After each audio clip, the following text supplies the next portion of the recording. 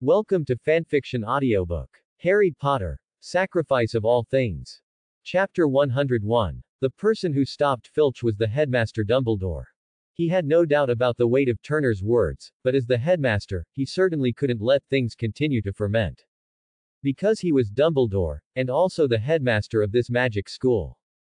If it continued, in the end, whether Turners took action against Filch or not, his authority would be questioned. And he didn't believe that Turners was just angry, and he knew that Turners would do what he said, but this situation was even worse. In any case, he was the headmaster of the school, and the school staff could be said to be his subordinates. No matter who was right or wrong in this matter, if he was under pressure from the board of directors, he would fire Filch. Then is it, 507, that there will be another one next, who will it be? Hagrid, Snape, or McGonagall? This is absolutely not allowed by Dumbledore, and he can't tolerate it. He doesn't doubt that Turners doesn't have the strength to do what he wants to do. The Longbottom family, which is now in its heyday, has been able to rise in the past two years, mostly because of one person, the child in front of him. It is conceivable how much say Turners has in the Longbottom family. If the Longbottom family, which is in its heyday, wants to fire a dud, no one will ever give them face because of this. It's just a matter of Turner's words. Although this is incredible, this is the fact. Dumbledore naturally can't sit idly by and watch such a thing. After all, Filch was just a little out of control because of Mrs. Norris's murder. Under normal circumstances, he is still a very competent administrator, at least he won't cause him any trouble, and he is still loyal to him. Okay, Filch, you are too excited, calm down. Seeing Dumbledore standing in front of him, even Filch, who was already extremely angry at this time, had to calm down. Although he was still a little unwilling, he couldn't disobey the headmaster's order. Looking at Filch who turned his head away, Turners did not care about this matter anymore, he was just a clown after all. Mr. Turners, I'm sorry for Filch's attitude, let's talk about Harry first. Dumbledore changed the subject. Well, okay. Turners nodded in agreement. Mr. Potter, why did you hide the fact that you are a Parseltongue? Dumbledore asked. He didn't doubt Harry, but was a little curious. In his opinion, there was nothing worth hiding. Of course, this was just his idea. He didn't need to listen to Harry's explanation. A few days ago, I also heard this voice. At that time, I told Turners and others that I didn't know that Parseltongue was a rare talent before. That's all they told me. In these days, I learned that Parseltongue is synonymous with dark wizards, so I'm worried.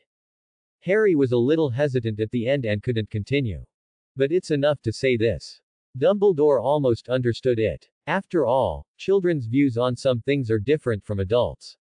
They think of some things too extreme. From here on, Dumbledore had no doubts, because it was obvious, wasn't it? Dumbledore smiled slightly, using his smile to ease Harry's embarrassment and tension. Are you worried that we will regard you as a dark wizard? Faced with Dumbledore's question, Harry lowered his head in shame. Although he did think so in his heart, how could he admit such a shameful thing? I'm sorry, Professor. Harry lowered his head and said in a low voice. No, it's not your fault. You don't need to apologize or anything. However, you just said that you heard this voice a few days ago. When was it? Dumbledore did not dwell on this matter, but quickly grasped some important information in Harry's words. Yes, it was more than a week ago. At that time, Ronald and I were punished for the first time. I suddenly heard this voice. At that time, I planned to chase it, but it moved very quickly and I couldn't catch up. Harry said with a little regret. In this regard, the people present did not comment. After all, if Harry caught up, they might have been attending Harry's funeral at this time. Well, Turners, please continue to tell me what you have found. Dumbledore continued to Turners beside him.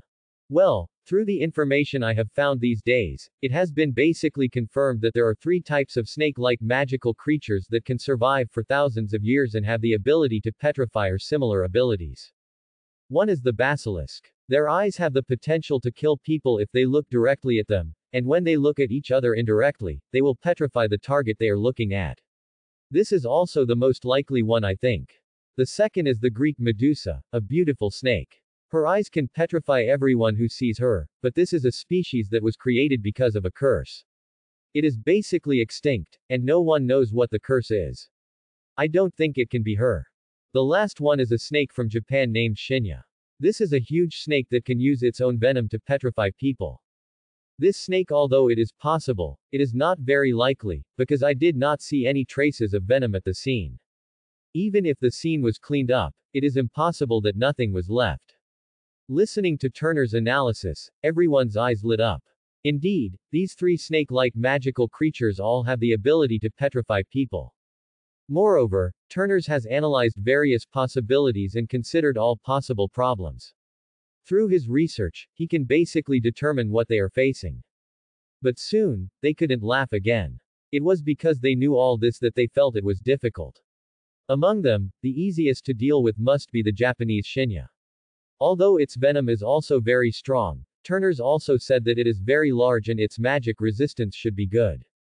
However, it was still very easy for the professors present to deal with it. But it was obvious that things could not be as they thought, that it was really Shinya. Their target had been determined long ago, and it should be the basilisk. This was a thousand-year-old basilisk. With the difficulty of this magical creature, even the professors in the academy might not be able to escape unscathed. Don't forget that the most famous thing about the basilisk is its magic eyes that can kill a person with a direct look. It was a bug-like existence. No one could maintain complete combat effectiveness when fighting it. You have to be on guard against its eyes at all times. If you can't look at the enemy, you can't judge the enemy's next move, and you can't predict how to respond to the next attack. Especially when the opponent is a magical creature that is likely to be very large and has amazing physical strength, it is even more disadvantageous. Of course, these are just my speculations. It is also possible that the petrification is not caused by the basilisk's eyes, but by some other black magic props or magic. It is not necessarily just another snake magic creature. However, Turner's comfort did not make everyone relax. Because no matter which possibility it is, they need to prepare a response and not let the possible attack happen again. Regarding the Chamber of Secrets incident, Dumbledore understood that this magical creature is very likely to be a white basilisk as Turner's guessed. Because only in this way can it explain why there has been no attack before. If you rely on your personal strength to achieve the effect of petrifying Mrs. Norris, you must be at least a wizard at the level of the dean of the college, and you must be proficient in black magic. He doesn't believe that there is such a hidden existence among the teachers in Hogwarts. As for using magic props, that is impossible. Because if it is such a magic item, it is naturally impossible to hide it. When he uses this magic item, he will inevitably be contaminated with some magic aura, which is easy to detect. So, this point can be ruled out. Now, what they need to pay attention to is who is the person who opened the secret room. Only in this way can they prevent the next attack. And if they want to solve the problem fundamentally, the only solution is to get rid of the basilisk in the secret room. Only in this way can they fundamentally prevent the secret room incident from happening again in Hogwarts. Okay, Turners, we already know, you go back and rest first, and leave the next thing to us.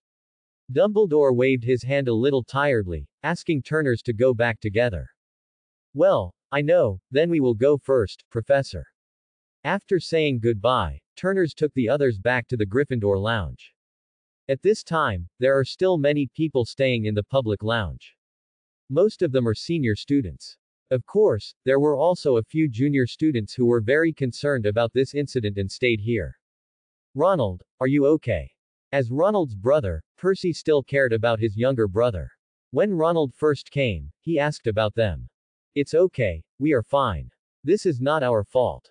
Principal Dumbledore just asked us a few questions. Ronald collapsed on the sofa weakly.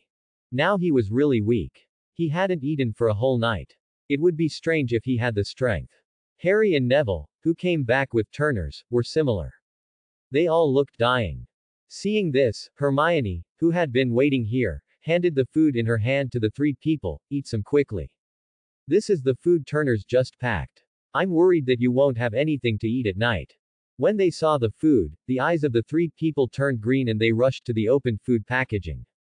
They didn't care about the benefits or anything, they just got started and stuffed it into their mouths with their hands.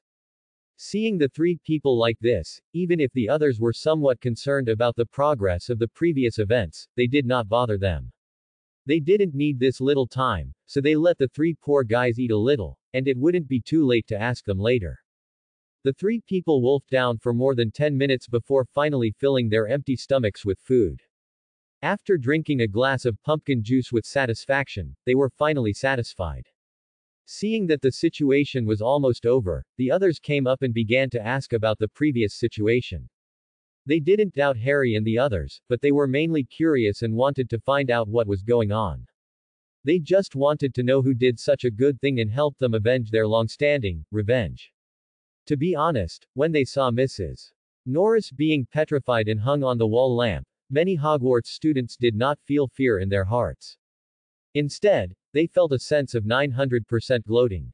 After all, if a student had made a mistake, he would have been found by Mrs. Norris, and then there was Filch's eerie figure. These two combinations have always been the nightmare of naughty students. Now one of them is unlucky because of this incident. If they say that they don't feel gloating, that would be a lie. However, they don't have that emotion now. It's not that they start to sympathize with Filch, but because the legend of the Chamber of Secrets has never been a secret in Hogwarts. And they also know some specific reasons why the monsters in the Chamber of Secrets exist. Therefore, they are more worried about their own safety now, and want to know more about the situation, just to know what is going on and whether the Chamber of Secrets has been opened. Under the questioning of everyone, Harry and the others can only answer their questions. After everyone asked, Harry and the others started to feel dry in the mouth again. There were so many people asking questions that they didn't even have time to drink water. However, after asking so many questions, there were only a few people who actually told them the news. After all, they were not allowed to know about the secret chamber. Even if they were told, it should not be Harry and his friends, but the professors of the school who should reveal some information as appropriate. After that, everyone went to their bedrooms to rest, as they still had classes tomorrow. After everyone left, they did not notice that in a dark corner, there was a small figure, which slowly emerged from the shadows. Long red hair, a slightly fat face with freckles, and obvious features, it was the youngest member of the Weasley family, Ginny Weasley. But at this moment, she seemed to be in a state that was a little wrong, with a gloomy face, not like a little girl. Her eyes were fixed on the entrance of the boys' dormitory, as if there was someone there, which made her very hateful. But something even more bizarre happened. Just as Ginny was staring at the boys' dormitory with hatred, suddenly, her face stiffened, and then her whole face became pale, without a trace of blood. The expression that was originally a little bit cold in hatred also turned into a look of fear and terror in an instant. This sudden change of face was even faster than turning a book, without the slightest sign. Ginny seemed to know something, and quickly reached into her arms. Sure enough, she touched something. The same thing that made her lose consciousness, and the same thing that appeared here after she woke up.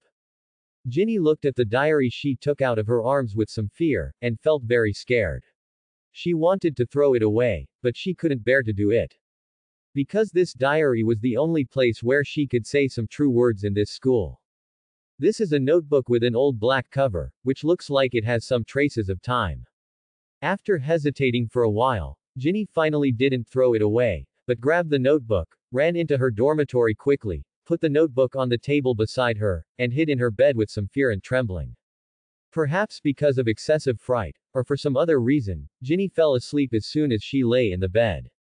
The diary that Ginny cared about very much just lay quietly on the table. The next day, when everyone woke up, people all over the campus were discussing the Chamber of Secrets and the Slytherin heir. Even in Professor McGonagall's Transfiguration class, Hermione couldn't help asking about the Slytherin Chamber of Secrets. Professor McGonagall, who used to take classes very seriously, unusually told everyone about the Chamber of Secrets. However, she did not reveal that the monster in the Chamber of Secrets was a thousand-year-old basilisk. After all, they could not let students know about such things. Once they knew, it would definitely cause a great panic in the school. This would be very detrimental to the entire school, and this was not what the professors wanted to see. Teachers of various subjects have been asked about the news of the Chamber of Secrets. Of course, Turnus didn't care about these things, but it didn't mean that he didn't worry about the basilisk. But even if he was worried, it would be useless. He would attack when he should. He couldn't live in fear every day. Turnus was still very concerned about his own safety. On the one hand, he was also thinking about how to deal with the death gaze of the basilisk. On the other hand, he tried not to act alone as much as possible. In addition, his five senses were sharp. Every time he passed by a corner, he would listen carefully to see if there was any problem before he walked over. At the same time, he was also making some props specifically for reconnaissance during this period to prevent any accidents. However, for now, it would take some time. After all, making such props is not a simple matter. It requires sufficient magic knowledge. And these are only temporary solutions. The best way is to make a magic prop that can resist the death gaze of the basilisk. Only in this way can he be absolutely sure, and even if he really has to fight the basilisk, he can minimize the probability of accidents. This is not a simple project, even Dumbledore has no good solution. The only thing he can think of is to use the magic immunity of Phoenix Fawkes to destroy the two eyes of the basilisk, so that he can fight the basilisk with confidence. This news is not guessed by Turners, or he knows something in advance, but he has personally asked Dumbledore, Dumbledore admitted it himself, and he has no other calendar. Therefore, in terms of the death gaze against the basilisk, he has to find a way himself. Turners only hopes to find a solution as soon as possible, otherwise, he can only avoid confronting the basilisk as much as possible. You will never know which one will come first, the surprise or the accident, Turners will never put hope on Dumbledore's ability to find the secret room. If it can really be found so easily, Dumbledore would have found it long ago. You know, the rumor about the Chamber of Secrets is not because it has been circulating here for more than a thousand years. It is because, in the past hundred years, the Chamber of Secrets has been opened once, and someone died in the school that time, which caused a great commotion at the time, and even Hogwarts was almost closed. Turners will definitely not rely on Dumbledore to solve the problem, and he must keep some backup plans. Even if he doesn't really have to fight the basilisk, at least when an accident happens, he can have enough means to deal with it. However, such means are indeed difficult to find. After all, in this world, if even Dumbledore can't find a way to deal with the eyes of the basilisk, then it is basically impossible for him to find any way. It's not that Turners is self-deprecating, but it's the fact. You have to know that Dumbledore's experience and his many means can almost be said to have reached the pinnacle of this world. If even such a person can't do it, Turners doesn't think that with his current background, he can get a solution halfway. Fortunately, Turners has other ways and channels. He can seek solutions from other worlds by sacrificing on the altar. This is what Turnus had thought of from the beginning. Ever since Turnus found out that the basilisk was powerful and difficult to deal with, he has been offering sacrifices continuously. It was to find a solution as soon as possible. It was a pity that, although he had obtained some good things from other worlds, he still had no idea how to solve the basilisk's death gaze. As time went by, the days passed, and the weather was not very good recently. However, Harry and Neville had never fallen behind in Quidditch training. That's right, the two had passed the Gryffindor Quidditch selection long before. During this period, in addition to helping Hagrid bring the excavated soil to Turnus, they were busy with Quidditch training. Although the weather was very bad, they did not slack off in Quidditch training. They were still enthusiastically engaged in training every day. Harry joined the team as the team seeker, while Neville 443 was not. He was a substitute player and stayed in the audience for the time being. Although his physical strength was very high, even comparable to other seniors. However, after all, his age was there, and his own weight was always a problem. When colliding with others, he was still at a disadvantage. This was not the most important thing. The most important thing was that the Quidditch team was not short of people for the time being. With the full staff, Neville could only stay below. However, Wood had made it clear that when some sixth-year students wanted to retire, he could immediately fill their vacancies. This was also a little comfort to Neville. After all, Neville's body was indeed very strong. As long as he was stronger, he could join the national team. Being able to join the Gryffindor team was also a blessing for Gryffindor. As the captain of the Quidditch team, Wood naturally had to grasp Neville, a good seedling.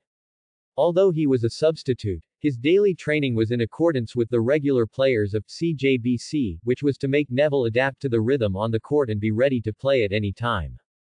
As for Turners, he continued to lie in the dormitory, making bricks while constantly offering sacrifices. No matter what it was, as long as he caught it, he would throw it directly on the altar, just to try his luck. And today, Turner's luck seemed to be very good. He saw that the spirit body condensed in the altar space, while controlling the magic circle to refine bricks, casually threw a long sword on the altar, and then the light of the altar gradually began to spread. As the entire altar was covered by the light, the long sword on the altar disappeared on the altar after a flash. Such scenes have shocked Turners countless times, especially in the past few days. In order to find a way to solve the death gaze of the basilisk, he has made no less than 10,000 sacrifices. When the light completely disappeared, the things obtained from this sacrifice also appeared before his eyes. This time, a card appeared. The only result of such a thing is that he will gain a new skill. Although he doesn't know what it is, such a thing, no matter what skill it is, is very worthwhile for Turnus. Turnus is looking forward to what skill he can get this time. After all, this is a very foreseeable situation. He quickly put down the half-refined earth brick in his hand and ran to the altar.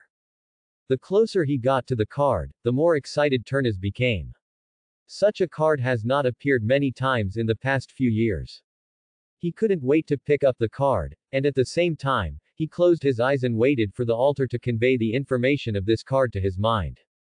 After fully understanding it, Turna's eyes suddenly widened and looked at the card in his hand in disbelief. It's a big explosion. And it's exactly what I need. My luck has exploded. Turnaz looked at the pattern on the card excitedly.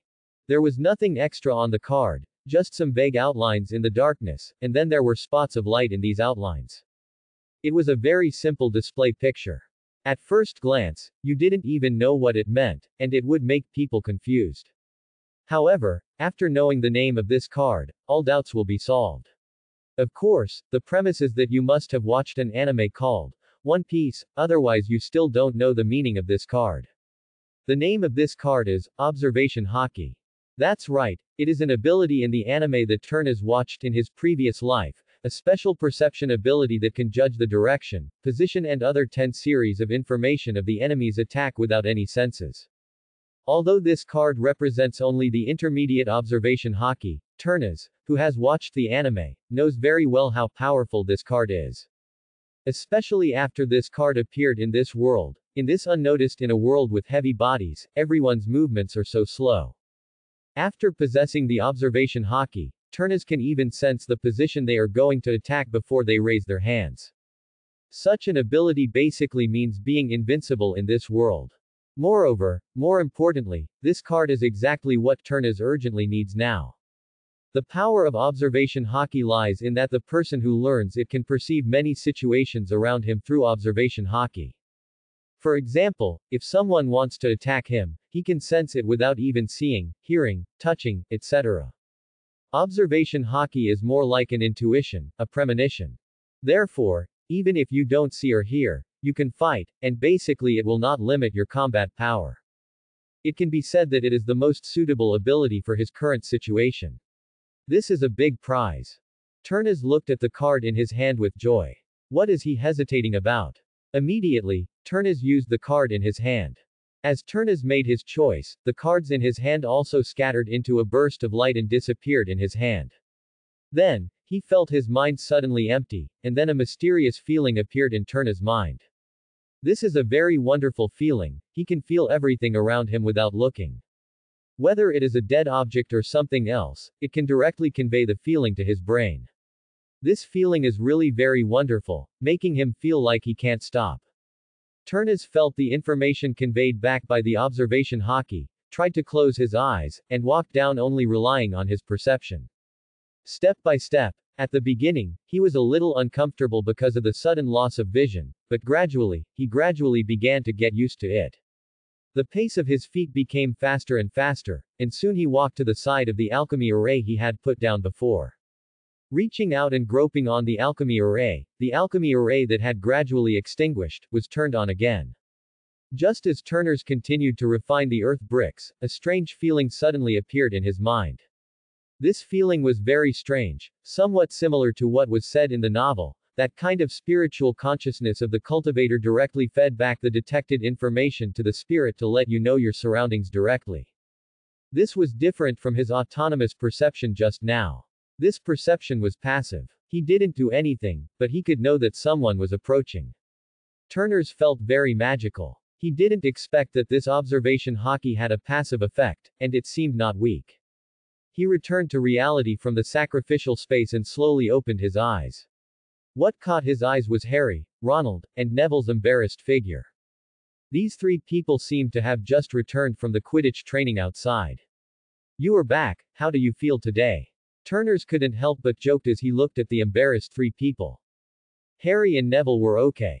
After all, they were inevitable and definitely needed to participate in training. But Ronald was a little strange. He was not suitable for Quidditch at his current age. However, for some reason, even if it rained, he would go to the stadium with Harry and the others, and even if he just watched from the side, he still enjoyed it. Ronald was not dissatisfied with Turner's jokes. His love for Quidditch made him not care about these hardships. Instead, he excitedly told Turners about some of the situations Harry and the others encountered during training. To be honest, Turners really couldn't praise the Quidditch sport in the wizarding world. It was a sport where a group of people flew around in the sky, grabbed a few balls, and chased the golden snitch. Turners really had no interest in it. Otherwise, with his physical fitness that was better than Neville's and his flying talent that was better than Harry's, he would have become a formal member of Quidditch long ago. However, Turners recently discovered that there were indeed fewer entertainment activities in the wizarding world. In addition to the wizard chess that everyone can play, there was only Quidditch left in sports. To be honest, Ness hasn't seen much of the others in the past few years. Sometimes Turnus wonders if he can make a game to enrich his life. Of course, this is definitely not now. The world is not peaceful. If he delays his progress in improving his strength because of playing, he will regret it in the end. Before reaching Dumbledore's level, Turnus will not put more energy into playing.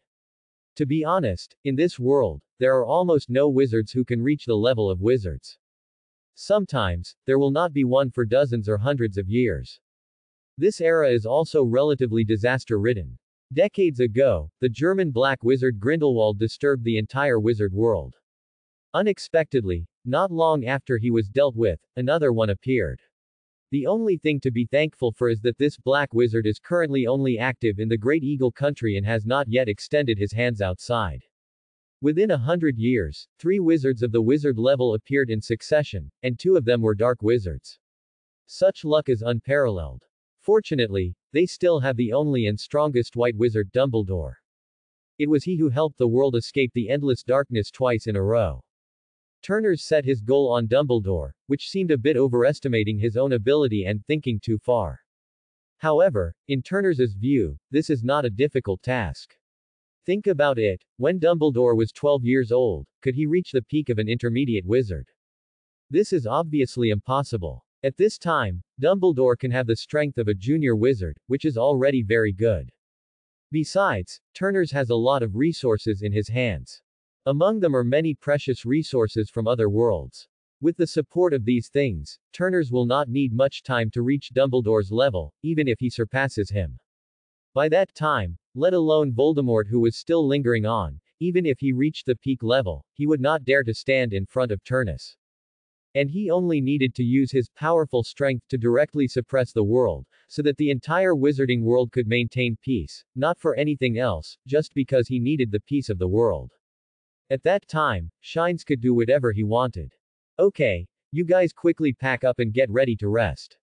We have a holiday tomorrow, so it's a good time to go to Hagrid's place, support part of the underground space first, and settle Norbo down. He has been very dishonest recently. Well, we know. As they said, the three of them accelerated their actions, began to wash up, and prepared to go to bed. Turnus also planned to go to bed. As he said, he would be busy tomorrow. The next day, after the five people had breakfast early, they ran quickly towards Hagrid's cabin. Draco, who was eating at the Slytherin table nearby, saw the five people in such a hurry that he didn't care about eating anymore. He picked up two pieces of bread and ran out of the village. Crabbe and Goyle, who were standing by, were about to follow, but were stopped by Draco. They must not let these two idiots know about their dragon raising business. They might let it slip at any time. Not only would his dragon be gone, but he would also be punished.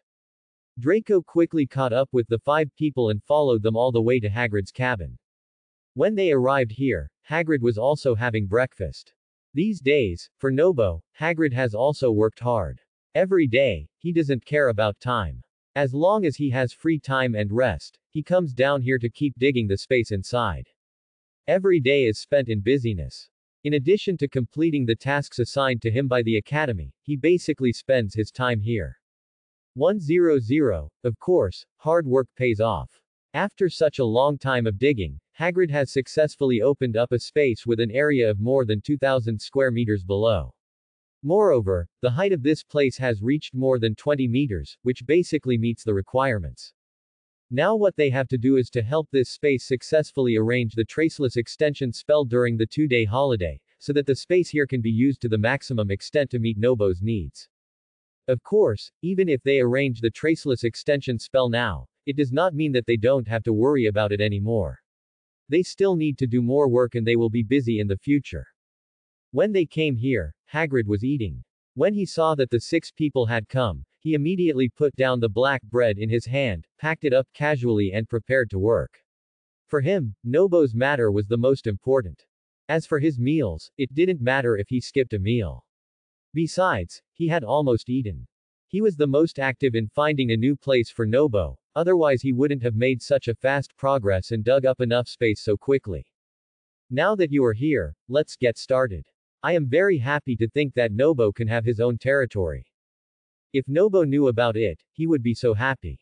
He he he. Hagrid said, not knowing what he was thinking of, he couldn't help but grin. Looking at Hagrid like this, Turnus really didn't know what to say, and didn't know whether they were raising dragons or sons. Hagrid and Draco were almost dragon slaves. However, he also knew that Hagrid's personality was like this. When facing those huge magical creatures, he had no resistance at all and always wanted to make friends with them. He really liked them too much. That is, Hagrid's body was huge, and there would be no volume suppression in the process of communication. If it were an ordinary person, if he wanted to do this to Hagrid, it would really be fatal. Of course, this also made it easy for Hagrid to get the recognition of those creatures and play with them, which also made Hagrid has many strong friends. In this dragon-raising process, even Draco, who has always looked down on this half-giant, has to admit that Hagrid obviously does a better job than himself in taking care of Nobo. Although this is also related to the fact that he is still a student and does not have much time to spend with him. But it is undeniable that Hagrid's love for Nobo is beyond words. Hagrid brought Turnus and the others to the underground space, where a large space had been dug out, which should be enough for Nobo's territory. Of course, this was after the traceless extension spell was arranged, which is obviously not possible now. Moreover, in order to be Nobo's territory, some other arrangements need to be made here, not only for protection, but also for the environment, which also requires a lot of effort. There is still a lot to do to make a territory for Nobo. Turnus took out the materials he had prepared in advance from the space, and together with Hermione, began to arrange them around. Through these months of research and practice, Hermione has a very deep understanding of the traceless extension spell. Moreover, during the summer vacation, she also successfully reached the level of a junior magician because of that cup of magic source potion. Her own magic control is also very advanced, if it is just to help Turnus, it is completely enough.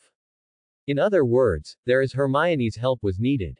Otherwise, if Turnus had done it alone, it would not be done in two days.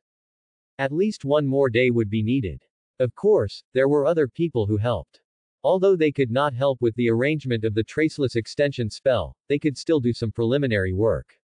For example, before they arranged the magic inscriptions of the traceless extension spell, they could use the strengthening magic of solid and stable to strengthen the surrounding earthen cave walls so that they could better arrange the magic inscriptions. It was not required that they reach no matter how strong it is, it only needs to be able to bear the magic inscriptions that are not worth them. The protective settings here are not achieved by them, but need to be rearranged after the traceless extension spell. Otherwise, if they have high hopes for such a spell, they will be buried alive. It is a foolish dream to want to defend against the destruction of the fire dragon with a spell. In the next two days of vacation, Turnus and his team can be said to have experienced the hard work of working overtime. After breakfast 4.0 every day, they hurried to Hagrid's hut started to get busy, and they would not go back until late at night, taking the time to rest, recuperate, and wait for the next day's work. Fortunately, they finally finished the work in these two days. This was also thanks to Turnus's hand, which had some magic recovery potions that could support everyone's magic consumption. Although the consumption was a bit large, it finally supported everyone's magic consumption in these two days, and did not delay the completion time. Huh. It's finally done, but I'm so tired. Turnus finally breathed a sigh of relief after fixing the last mithril wire in the wall. After two days of arrangement, the magic circle of the traceless extension spell was finally arranged. The next thing to do is to activate the formation, let the traceless stretching spell take effect, and expand this underground space. How is it? It's okay. Do you want to take a break? Hermione asked with concern. In the next few hours, her work was basically completed. She could take a break in the last little time, but Turnus was different. From beginning to end, he had no chance to stop. He was always working at a high intensity. His body must be very tired, and more importantly, he was mentally exhausted. It's okay, the next thing is relatively simple. I'll take a break after I finish it. Turnus waved his hand to indicate that he didn't care. Under Turnus' leadership, they came to the center of the entire underground space. Hagrid deliberately left a pillar here, with a diameter of about 3 meters. This will become the energy center of the entire underground space, mainly to provide energy to the surrounding magic inscriptions to ensure that the magic inscriptions here can continue to operate.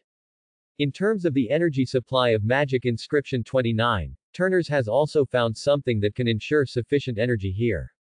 That is a very huge flame crystal in his hand. This flame crystal was obtained by chance when Turnus was offering sacrifices these days.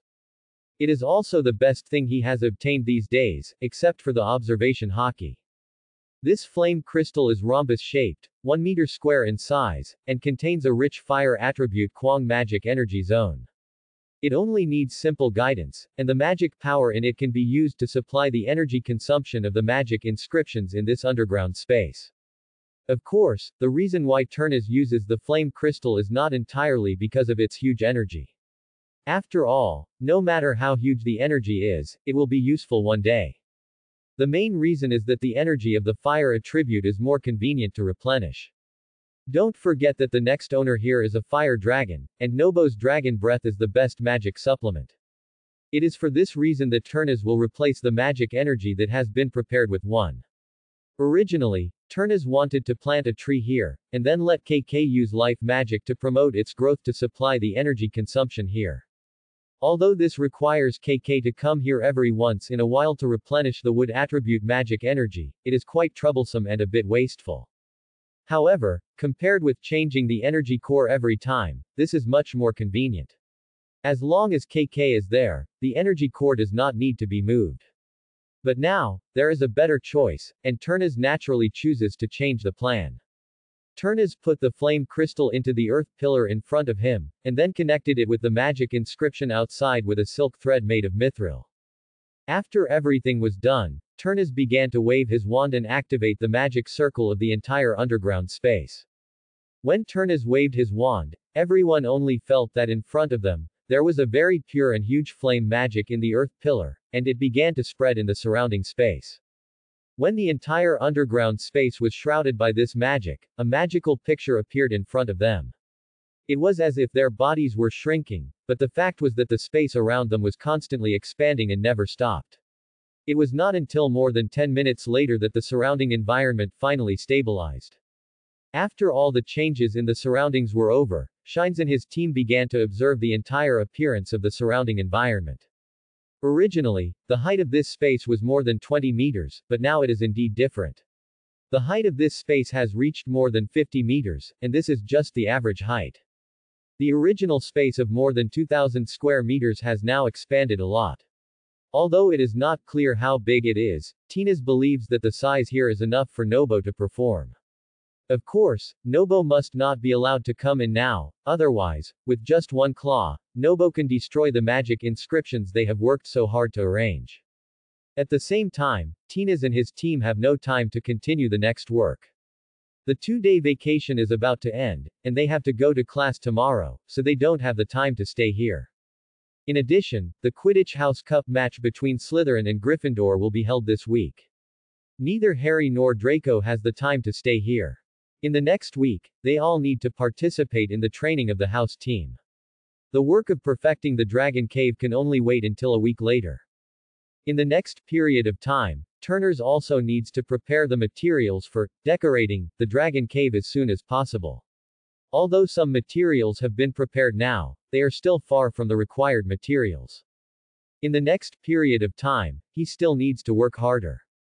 However, since there is no pressure from the threat of the basilisk, Turnus' mood has also relaxed a lot, and he is no longer too depressed. Even Hermione has noticed these changes in him. Isn't it just that the traceless extension spell of the Dragon Cave has been built? Is there any need to be so happy? Hermione said speechlessly. Well, although she is also very happy, after all, this traceless extension spell was set up by her, although the main arrangement work was not completed by her. But she undoubtedly put a lot of effort into the creation of the Dragon Cave. But she shouldn't be as happy as Turnus. She didn't know that Turnus was not so happy just because of a Dragon Cave. Turnus didn't explain anything, but changed the subject. How do you plan to spend the next Christmas? Will you stay with your family or stay in school? What about you? How are you going to spend it? Hermione was also very entangled about this, although she wanted to go back to spend Christmas. However, she felt that it was really unfair to leave all the remaining work of the Dragon Cave to Turnus. As for Harry and the others, Hermione didn't expect them at all. It was okay to let them use some simple magic, but asking them to help Turnus complete the subsequent transformation of the Dragon Cave was not to look down on them, but it was too difficult for them. As for me, I will stay in school. I don't plan to go back this year. After all, there are too many things in school and I can't leave for the time being. Although Hermione knew that Turnus would definitely make this decision, she was still a little entangled when she heard it. Should she go back? Soon Hermione made a decision, which was to stay in school with Turnus. Then I will stay and help you. It's just in time for you to teach me more magic. Hermione found a reason for herself and chose to stay. This is good. We can take advantage of this time to speed up the progress of the Dragon Cave. At least decorate part of it first and let Nobo move in first. He is getting more and more irritable now. Maybe he has really grown up. Turnus was also somewhat helpless. Nobo is really a worry now. The suitcase he lived in before has been repaired by Duners for the third time. If he is not dealt with quickly, there will be more troubles like this in the future. Hermione swallowed the food in her mouth and said with a smile, Yes, Nobo is getting more and more lively now. He really can't be locked up anymore. It's time to give him some space to move around. Quote. Hermione, who had done special research on this aspect, knew something about the habits of dragons. She also knew that Norbo was in adolescence and was very active. He was indeed a little irritable when he was locked in a box. Turnus rolled his eyes helplessly. To be honest, Norbo was really not pleasing to Turnus. If he hadn't agreed to let Hagrid help him raise dragons, Turnus would have quit long ago. It's only because Hagrid is here, otherwise I would have put a dog chain on him. How could he be so arrogant? He even spit at me yesterday. Next time, when Hagrid is not around, I'll see how I deal with him. Quote. Looking at Turnus's indignant expression, Hermione laughed unkindly. Yes, yes, you are the best, but don't leave any external injuries, otherwise Hagrid will cry again. Thinking of Hagrid crying like a child because of Norbo's injury, Turnus couldn't help but laugh out loud. What are you talking about? You look so happy. Just when Turnus and the other man were chatting happily, Harry's curious figure came from behind. Harry and Neville were wearing Gryffindor's red uniforms and holding two brooms in their hands. Ronald followed them, scanning the surroundings vigilantly, like a bodyguard. Seeing this trio, Turnus raised his eyes, Are you all ready? How do you feel? This time, we must teach Draco, that arrogant guy, a lesson. Don't be suppressed by their momentum. Hearing Turnus' words, Harry smiled confidently. Of course there is no problem. This time we are well prepared. Although each of them has a Nimbus 2001, our flying brooms are not bad either. Don't worry, Turnus, this time as long as I can play, I will definitely kill Slytherin without a single piece of armor left. Neville also said confidently on the side. In terms of Quidditch, Neville, who has been playing since childhood, is not inferior to anyone. That would be the best. The reason why Turnus hated Slytherin so much was because of Draco. His personality was like that. As long as he was in the upper hand, he would be arrogant. Before, because the Quidditch of Slytherin College was funded by the Malfoy family, everyone received a Nimbus 2001, so he started to show off and actually ran to Turnus to show off. Turnus would not spoil him at that time. He immediately cast a spell to let him and his flying broom fly into the sky and feel the experience of being shoulder to shoulder with the sun. It flew in the sky for more than two hours before finally stopping. However, Turnus would not let him go so easily. Not only did he want him to feel physical torture, but he also wanted him to be mentally and politically hit. And what could be better than being directly defeated in Quidditch? Besides, there was never peace between Harry and Draco. When the two of them were together, they were either competing or bickering. Turnus didn't need to say much. Well, you are really petty. It's been so long, and you still remember it. Besides, didn't he get a lesson at that time? Hermione stood up for Draco. However, it would be better if she could restrain the smile on her lips. Turnus looked at Hermione who couldn't help laughing, rolled his eyes, and laughed if he wanted to don't hold it back and hurt yourself. Quote. Hermione's face flushed with shame, and she slapped Turnus in the face. Her coquettish look was really tempting. After a few glances, Turnus quickly retracted his gaze, and at the same time silently recited the Ice Heart Sutra in his mind. He silently warned himself in his heart that it was illegal to be a Lolita, it was illegal to be a Lolita. Because the Quidditch match was about to start, the group did not delay for long. After a quick lunch, they all went to the Quidditch field. Even so, when they arrived, the place was already full of people, and each college had its own stand. Turnus and his friends came to the Gryffindor stand and found a better position. They put out the various magical creations with a strong Gryffindor style that they had prepared to boost morale. There were old sheets with the Gryffindor logo carved with magic, and there were also Gryffindor pennants made with some pieces of clothing. There was also a good, large banner that was held high, just at the top of the Gryffindor stand. Turnus was naturally prepared, and he took out a bludger from his pocket. Of course, it just looked like a bludger, and it was definitely not a bludger. And its colors were the gold and red of Gryffindor. Turnus took out the ball and tapped it twice with his wand. After a burst of magic light, the spherical object turned into a golden lion, and on the lion was a bright red robe with the Gryffindor logo and cheering slogans on it. The lion was very large, and it directly occupied the Gryffindor stand. However, his illusory body did not affect the Gryffindor students from watching the next match. At first, no one else noticed this. When the lion opened its mouth and roared, everyone was attracted by the majestic lion and saw the cheerleaders on the Gryffindor stand. Turnus looked at the lion's performance and felt very satisfied. He waved his wand again and the lion roared again, showing the momentum of the Gryffindor cheerleaders. As time went by, the entire Quidditch game officially began. As a substitute, Neville did not play at this time, but Harry had already followed the team to the stadium. When the Gryffindor players saw that there was a majestic lion among the people cheering for them in the Gryffindor audience, they were all very excited as if they had been injected with chicken blood. George and Fred even rode on flying brooms and flew over the Gryffindor audience, shouting excitedly. Turnus also controlled the lion and roared in response. Soon, under the auspices of Ms. Hooch, the Quidditch match officially began. From the beginning of the game, the flames between the Gryffindor and Slytherin teams were very strong.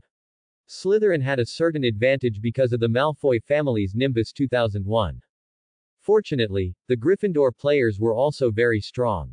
Although they were at a disadvantage in equipment, they were able to recover some of their personal strength. Turnus was in the stands, constantly cheering for the Gryffindor team, and from time to time, the lion would roar.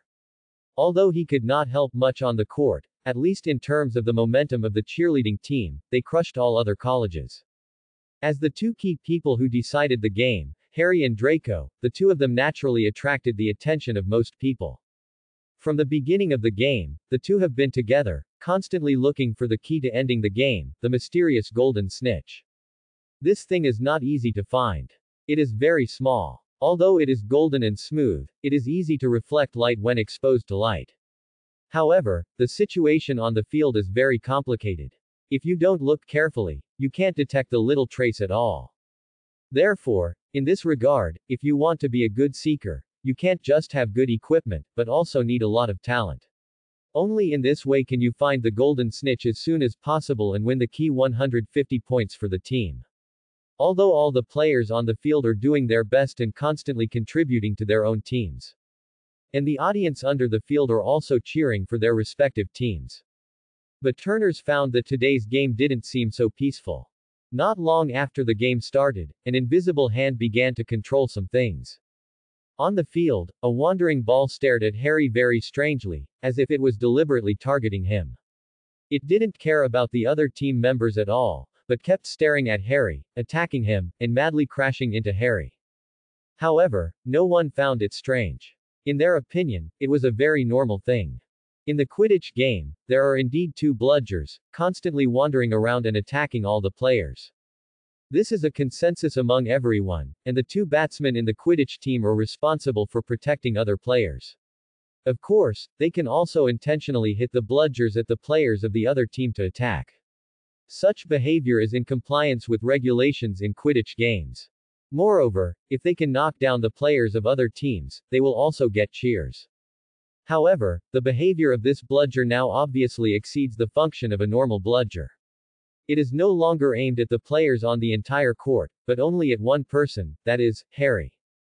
Although others have not noticed anything, because this seems normal to them, at most they think Harry is unlucky and is targeted by a bludger.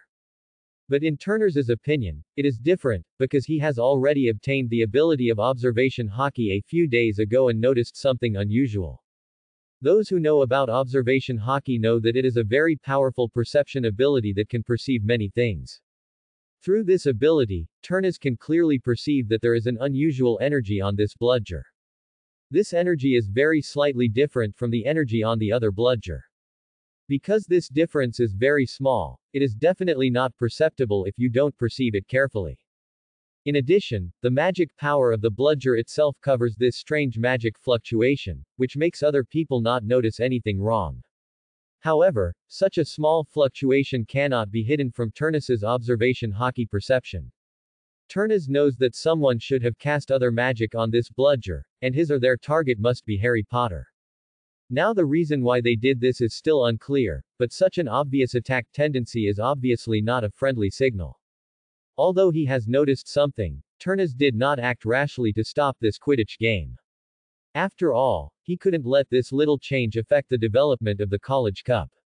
Besides, he didn't have such power. He just used his observation haki to carefully sense the source of this magic power based on the slight fluctuation of magic power. Although it was very subtle, there were still traces to follow, and Turnus didn't have no clue.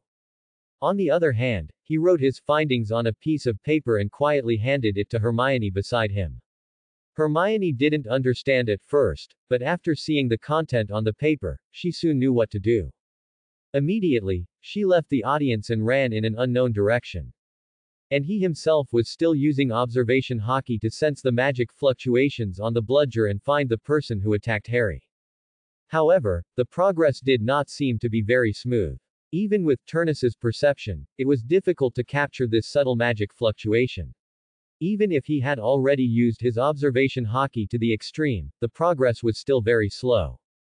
In addition, the surrounding environment was a bit complicated, and it was easy to lose track of a subtle magic fluctuation, which required Turnus to concentrate and carefully perceive the surroundings. Turnus concentrated on looking for this unknown magic fluctuation. Time passed by, and he was getting closer and closer to the truth. Just when he was about to capture the source of the magic fluctuation, something unexpected happened. The magic fluctuation was instantly cut off, and Turnus' previous actions were declared to be in vain. Everything turned into a waste of effort. Turnus was slightly stunned. He thought he was discovered. In order not to be exposed, the other party cut off the magic connection. But now there is only one last step to the final truth. How can he be willing to fail? Immediately, the observation haki gushed out crazily. In just a moment, the area he traced was completely covered by the perception of the observation haki, and the breath of everyone was locked.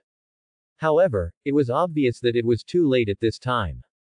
He could already sense obvious magical fluctuations in this area, and he could clearly confirm that this magical aura was apparition. Obviously, the other party was very cunning and had used apparition to escape as soon as the incident occurred. At this time, Turnus could only withdraw his attention, and this time the pursuit could only end in failure. Although Turnus was a little disappointed, he had no other way. The other party slipped away too quickly, leaving him no chance to pursue.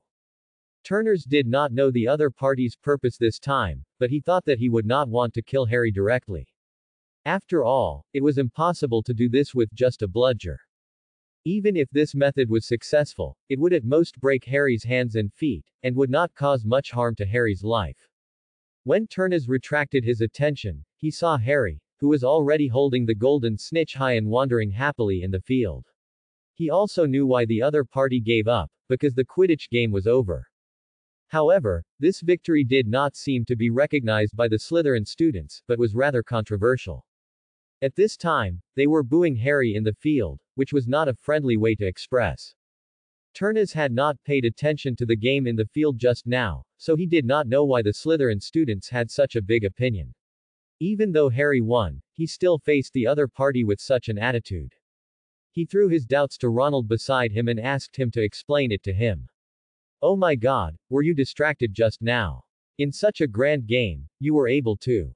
Looking at Turnus' dangerous eyes, Ronald wisely did not continue to speak, but began to explain Turnus' doubts. It was not until this time that Turnus realized that just before, when he was tracking down the mastermind, Harry had already been in a mess because of the out-of-control bludger. Despite this, Harry still found the snitch and chased after it.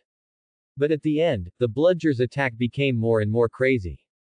Just when it was about to hit Harry and cause him to be seriously injured, Dumbledore, who was sitting in the teacher's seat, could no longer sit idly by and directly fix the bludger in midair. As a result, Harry, who would have been seriously injured by the bludger, got the snitch very smoothly and finally won the game successfully. Turnus knew all the reasons and understood it. Dumbledore would not watch Harry get injured by the obviously problematic bludger. However, others who really didn't know the reason just thought that Dumbledore was deliberately biased. Especially for the students of Slytherin College, this was obviously destroying the fairness of the game in their opinion, which made them doubt the fairness of this Quidditch. Even Snape, the headmaster of Slytherin, walked towards the teacher's seat angrily, obviously wanting to question Dumbledore why he interfered with this game. Of course, the final result is obvious. The bludger is still in Dumbledore's hand. Although it has lost its magic interference, the small spell on it is still there, although it is not as obvious as before. But after all, it was once cast with magic, which is still easy to recognize. This alone is enough to explain everything. After that, things were relatively simple. Snape, the headmaster of Slytherin, had been convinced, and the others could be easily dealt with. The heads of each college also explained the fairness of the game to their students. As for the inside story, Few people knew it. This is not a trivial matter, so the fewer people who know about it, the better. After the game, Hermione came back and found Turnus. Turnus, Principal Dumbledore is waiting for you in the office. Go quickly, the password is sherry sugar. Turnus had expected it, nodded and said, Okay, I know, you go find Harry and the others first. This is their first time to participate in Quidditch, they must be very excited now. I'll explain the situation and then find you. Okay. Then go quickly, the sooner you go, the sooner you come back. Hermione also knew that the principal wanted to find Turnus for something, so she didn't ask much, and followed the students of Gryffindor College back to the common room. Turnus simply sorted out and rushed to the principal's office. On the way, He also sorted out his thoughts briefly, and went over what he was going to say in his mind to make sure that he would not miss any important information. As the first discoverer of this incident, he was the one who knew the most, so he had to provide as much information as possible to facilitate finding the person behind the scenes. This attack was really strange. Hogwarts had been peaceful for the past year, but someone suddenly attacked Harry at this time.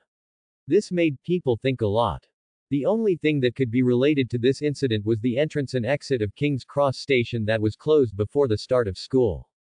He also planned to talk about this point, which was the only thing he could connect with this attack. After all, this attack was not a fatal attack, and the last passage closure incident was similar. It seemed that someone was trying to stop Harry from coming to Hogwarts. Of course, it might be a bit hasty to judge the other party's purpose based on these two points, but this was the only purpose he could think of so far. In the first accident, the purpose was very obvious, directly preventing Harry from boarding the Hogwarts Express. As for the second time, if it was just from the worldview of wizards, it might not be obvious. After all, even if he was injured, he could use potions to heal the injured part in a short time. However, if you look at it from the perspective of muggles, the injuries of broken arms and legs must be very serious, and he must be hospitalized. After hospitalization, he will definitely go home to recuperate, and he will not want to go to school in a short time. Moreover, this was the only explanation that Turnus could think of. Although it was far-fetched, he didn't know how to explain why the mastermind wanted to hurt Harry but didn't want his life. While thinking about this, Turnus had already arrived outside the principal's office. Here, there was a huge stone statue, which was the same type as the one at the door of Turnus' exhibition room. They were both magic puppets, generally used to guard some places. When someone wanted to break into the place they were guarding, they would be attacked by them.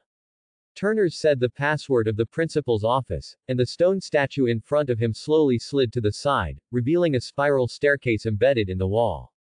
He strode into the spiral staircase, and the side of the staircase began to move by itself, rotating and rising. And the puppet stone statue behind him also returned to its original place and continued to perform its duties. When Turnus came to the office, there were already quite a few people standing here. At this time, the professors did not care about etiquette, and stood in front of Dumbledore's desk one by one. It was obvious that they had just had a discussion, but it seemed that there was no result. When they saw Turnus, everyone looked at him, wanting to see Turnus. I think everyone had great doubts in their hearts at this time. Even Dumbledore did not find a small magic, but Turnus actually found it. Such a thing was incredible no matter how you think about it, and everyone was very confused. Of course, no one would doubt that this was done by Turnus, after all, the means were too despicable. If this was really Turnus' work, then they could only say that they had overestimated Turnus' before. However, they thought it was not, but this also required evidence, otherwise they would not easily believe a person. Even if this person was their student, there would always be people who would be lucky and think that they could trick others.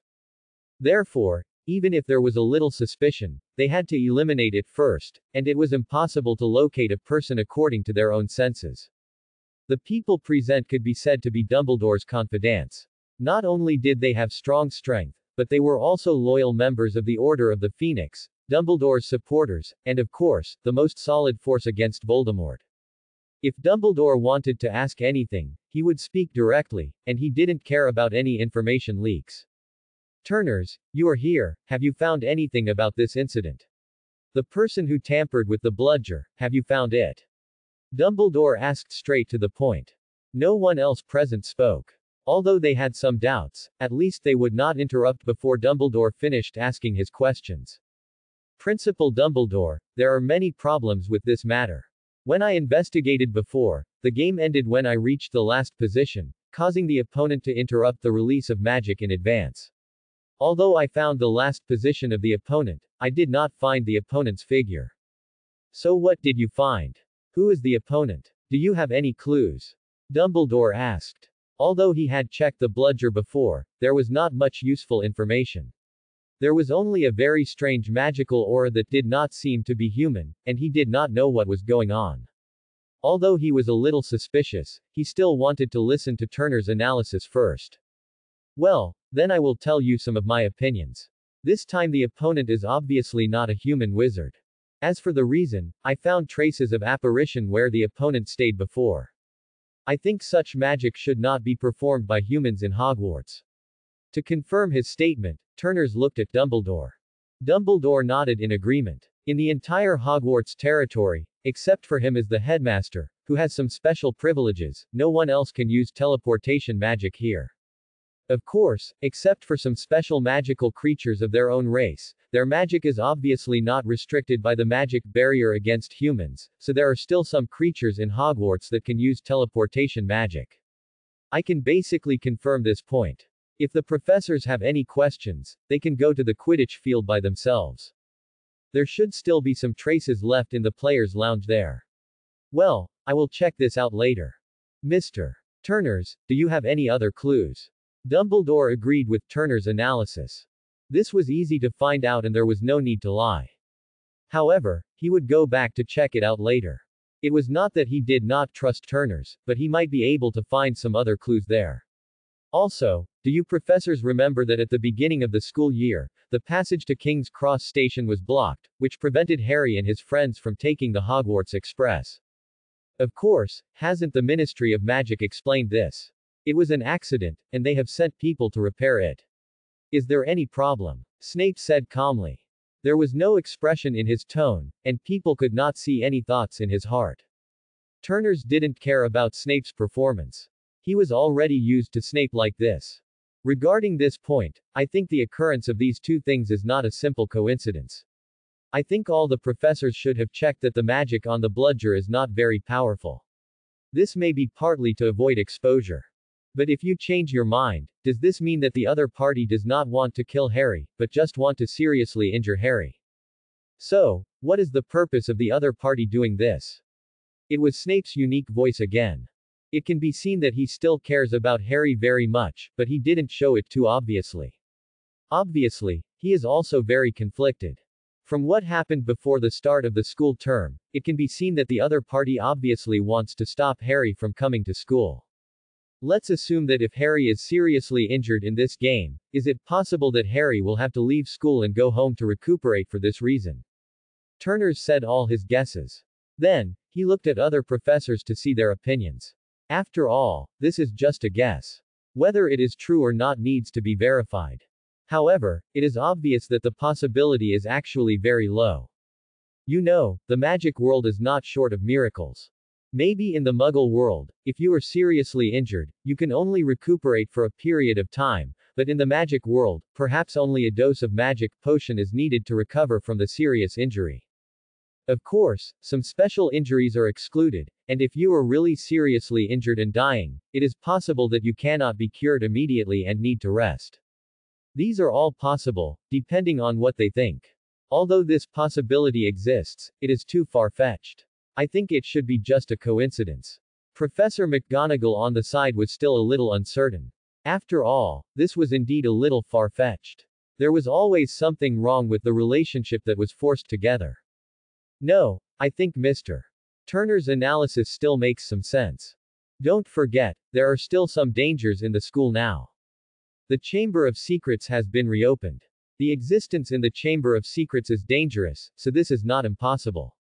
Dumbledore suddenly spoke up to support Turnus' point of view. Turnus was also a little surprised about this. In his opinion, just like Professor McGonagall said, his guess was indeed a little far-fetched. If you really count it, it can only be regarded as a forced explanation without sufficient reason. Since we don't know, why don't we ask Mr. Potter here to ask? Maybe he knows something. At that time, Snape, who was poker-faced, suddenly suggested. This proposal made everyone present brighten up. Yes, they have been speculating here for so long, but they have forgotten that the protagonist of this matter is not here. As the person involved, he may know something. Well, Mr. Turnus, do you have any other discoveries? If not, you can go back and help me find Harry and ask him to come to my place. Dumbledore asked at the end. Turnus shook his head and said, I have no other discoveries. Then I will leave first, professors. Well, when Turnus returned to the Gryffindor lounge, there was still a carnival going on here. Everyone was very excited. They finally defeated Slytherin College this year. Maybe, this year, they will win the College Cup for Gryffindor. Ronald on the side also released the magic prop that Turnus made that can be projected. A majestic lion, wearing the Gryffindor logo, kept circling around everyone. When Turnus came back, Hermione was the first to notice it. She immediately came to Turnus and asked loudly in the noisy crowd, Turnus, how is it? Have the professors found anything? Has the magician been caught? She had to speak loudly. After all, the environment here was too noisy, and if she spoke softly, she couldn't hear the other person's voice at all. Turnus leaned close to Hermione's ear and said, Not yet, but I came to find Harry. Professor Snape wants to ask Harry if he knows something. I'm going to find him first, otherwise the professors will be anxious. After Turnus said that, he squeezed into the crowd without looking back. He didn't notice that Hermione couldn't help blushing when he spoke to her ear. In the end, even her ears were red like blood. Facing Turnus's intimacy, Hermione was a little overwhelmed, but for some reason, she didn't hate this feeling very much, but instead had a faint sense of expectation. Of course, these were all Hermione's own thoughts, and naturally she couldn't say them out loud. Even if she thought about it in her heart, she was too shy. Soon, Turnus squeezed into the crowd and pulled Harry, who was reveling, out of the crowd. After pulling Harry directly out of the Gryffindor break, he said, Harry, Professor Dumbledore wants to see you for some information. You should go there now. The password to the principal's office is Sherry Sugar. Harry was a little confused. He didn't know what the principal wanted to see him about. His face was flushed with excitement, and it also subsided a little at this time. After listening to Turnus' words, he didn't think much about it. After agreeing, he went to the principal's office. Turnus looked at Harry's back and always had a feeling that no matter which world they were in, as long as they were the protagonists, they would always have all kinds of troubles. Now as a friend of Harry, the protagonist, he could already foresee that there would be constant troubles in the future. However, it is precisely because of such troubles that challenges can continue. This kind of life is interesting. With a sigh, Turnus crawled into the Gryffindor lounge again. After entering the lounge, he joined everyone's carnival. After all, even in his previous life, Turnus was just a young man who had just graduated from college. He had not experienced the beatings of society and was not old enough. It was good to indulge from time to time to maintain a good mental state. Feeling the joy in the hearts of the Gryffindor students, Turnus also felt very happy and relaxed. After this carnival, everyone temporarily forgot the troubles they had encountered in the past few days. But it was obvious that some people did not want them to be so happy. On the second day, a message was spreading throughout the college. The monster in the secret room appeared again. This time the person attacked was Colin, a muggle-born wizard and a loyal fan of Harry, who often took photos of Harry. He always carries a camera with him, and this time, it was because of the camera that he escaped. Although the camera was destroyed, at least he was only petrified and not in danger of life. After experiencing another attack by the monster in the Chamber of Secrets, especially this time the target of the attack was a student. The atmosphere in the college suddenly became tense, and everyone began to worry whether they would be the next person to be attacked. Especially those muggle-born wizards, who were even more worried all day long. Fortunately, the school responded very quickly and immediately began to organize students and set some rules. For example, when traveling, at least three people are required to act together, and they cannot act alone. In addition, the seniors spontaneously organized patrol teams to patrol the entire Hogwarts castle to prevent accidents from happening again. Of course, Dumbledore, who knew what kind of monster was in the Chamber of Secrets, obviously would not put all his hopes on the student patrol team. After all, their strength was limited, and at most they could only stop the heir of the Chamber of Secrets from opening the Chamber of Secrets. As for wanting to use their power to fight against the basilisk, this is simply a dream and unrealistic. The best solution is to find the secret room and directly get rid of the basilisk inside. Then, even if the heir of the secret room wants to continue to make trouble, he will have no tools. If it is just one person, it is still easy to deal with, at least much better than a thousand-year-old basilisk. But, unfortunately, this is still an impossible thing. Until now, they have not found the entrance to the secret room, so how can they solve the basilisk? Just when Dumbledore and other professors were helpless, a message spread throughout Hogwarts. And with this news, there is also a very special magic prop. This is a thing similar to glasses, but its function is not to correct vision, but to avoid looking directly at things outside through the refraction principle of the mirror. Needless to say, this thing is naturally a magic prop that Turnus, who knows the inside story, has made after these days of research to avoid facing the death gaze of the basilisk directly. Although he still couldn't avoid being petrified in the end, at least he could avoid being killed by the basilisk's eyes.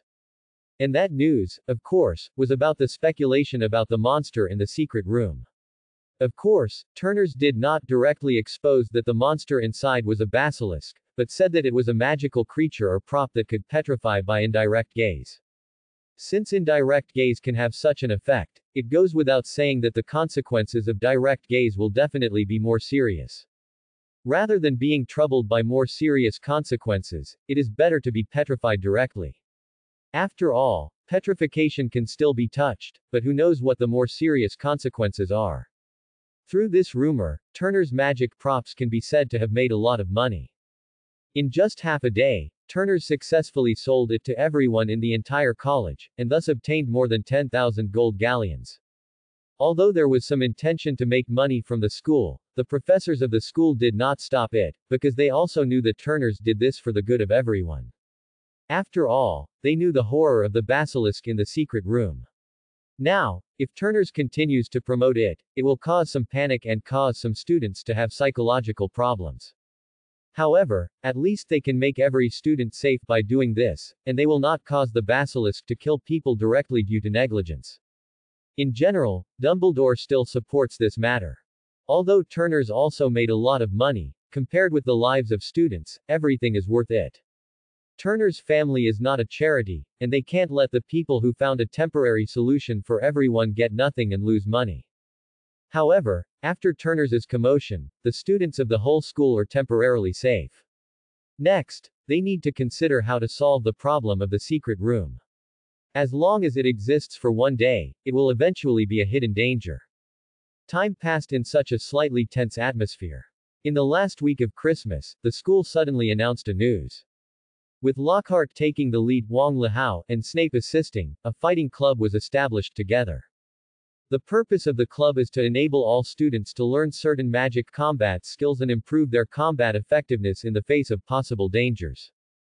You are not required to help the school catch the heir of Slytherin, but at least you must be able to protect yourself. It was for this purpose that Dumbledore agreed to Lockhart's proposal. Of course, he seemed to be able to see that Lockhart was just an embroidered pillow, so he sent Snape, the most powerful person in the academy besides him, to assist the school. Let's not talk about the final result. At least, after this news came out, Lockhart, who had been low-key for a few days, started to jump again. Although Shenes directly exposed his true face at the beginning of the semester. However, the impact of this incident was too small, or maybe Lockhart was just good at pretending.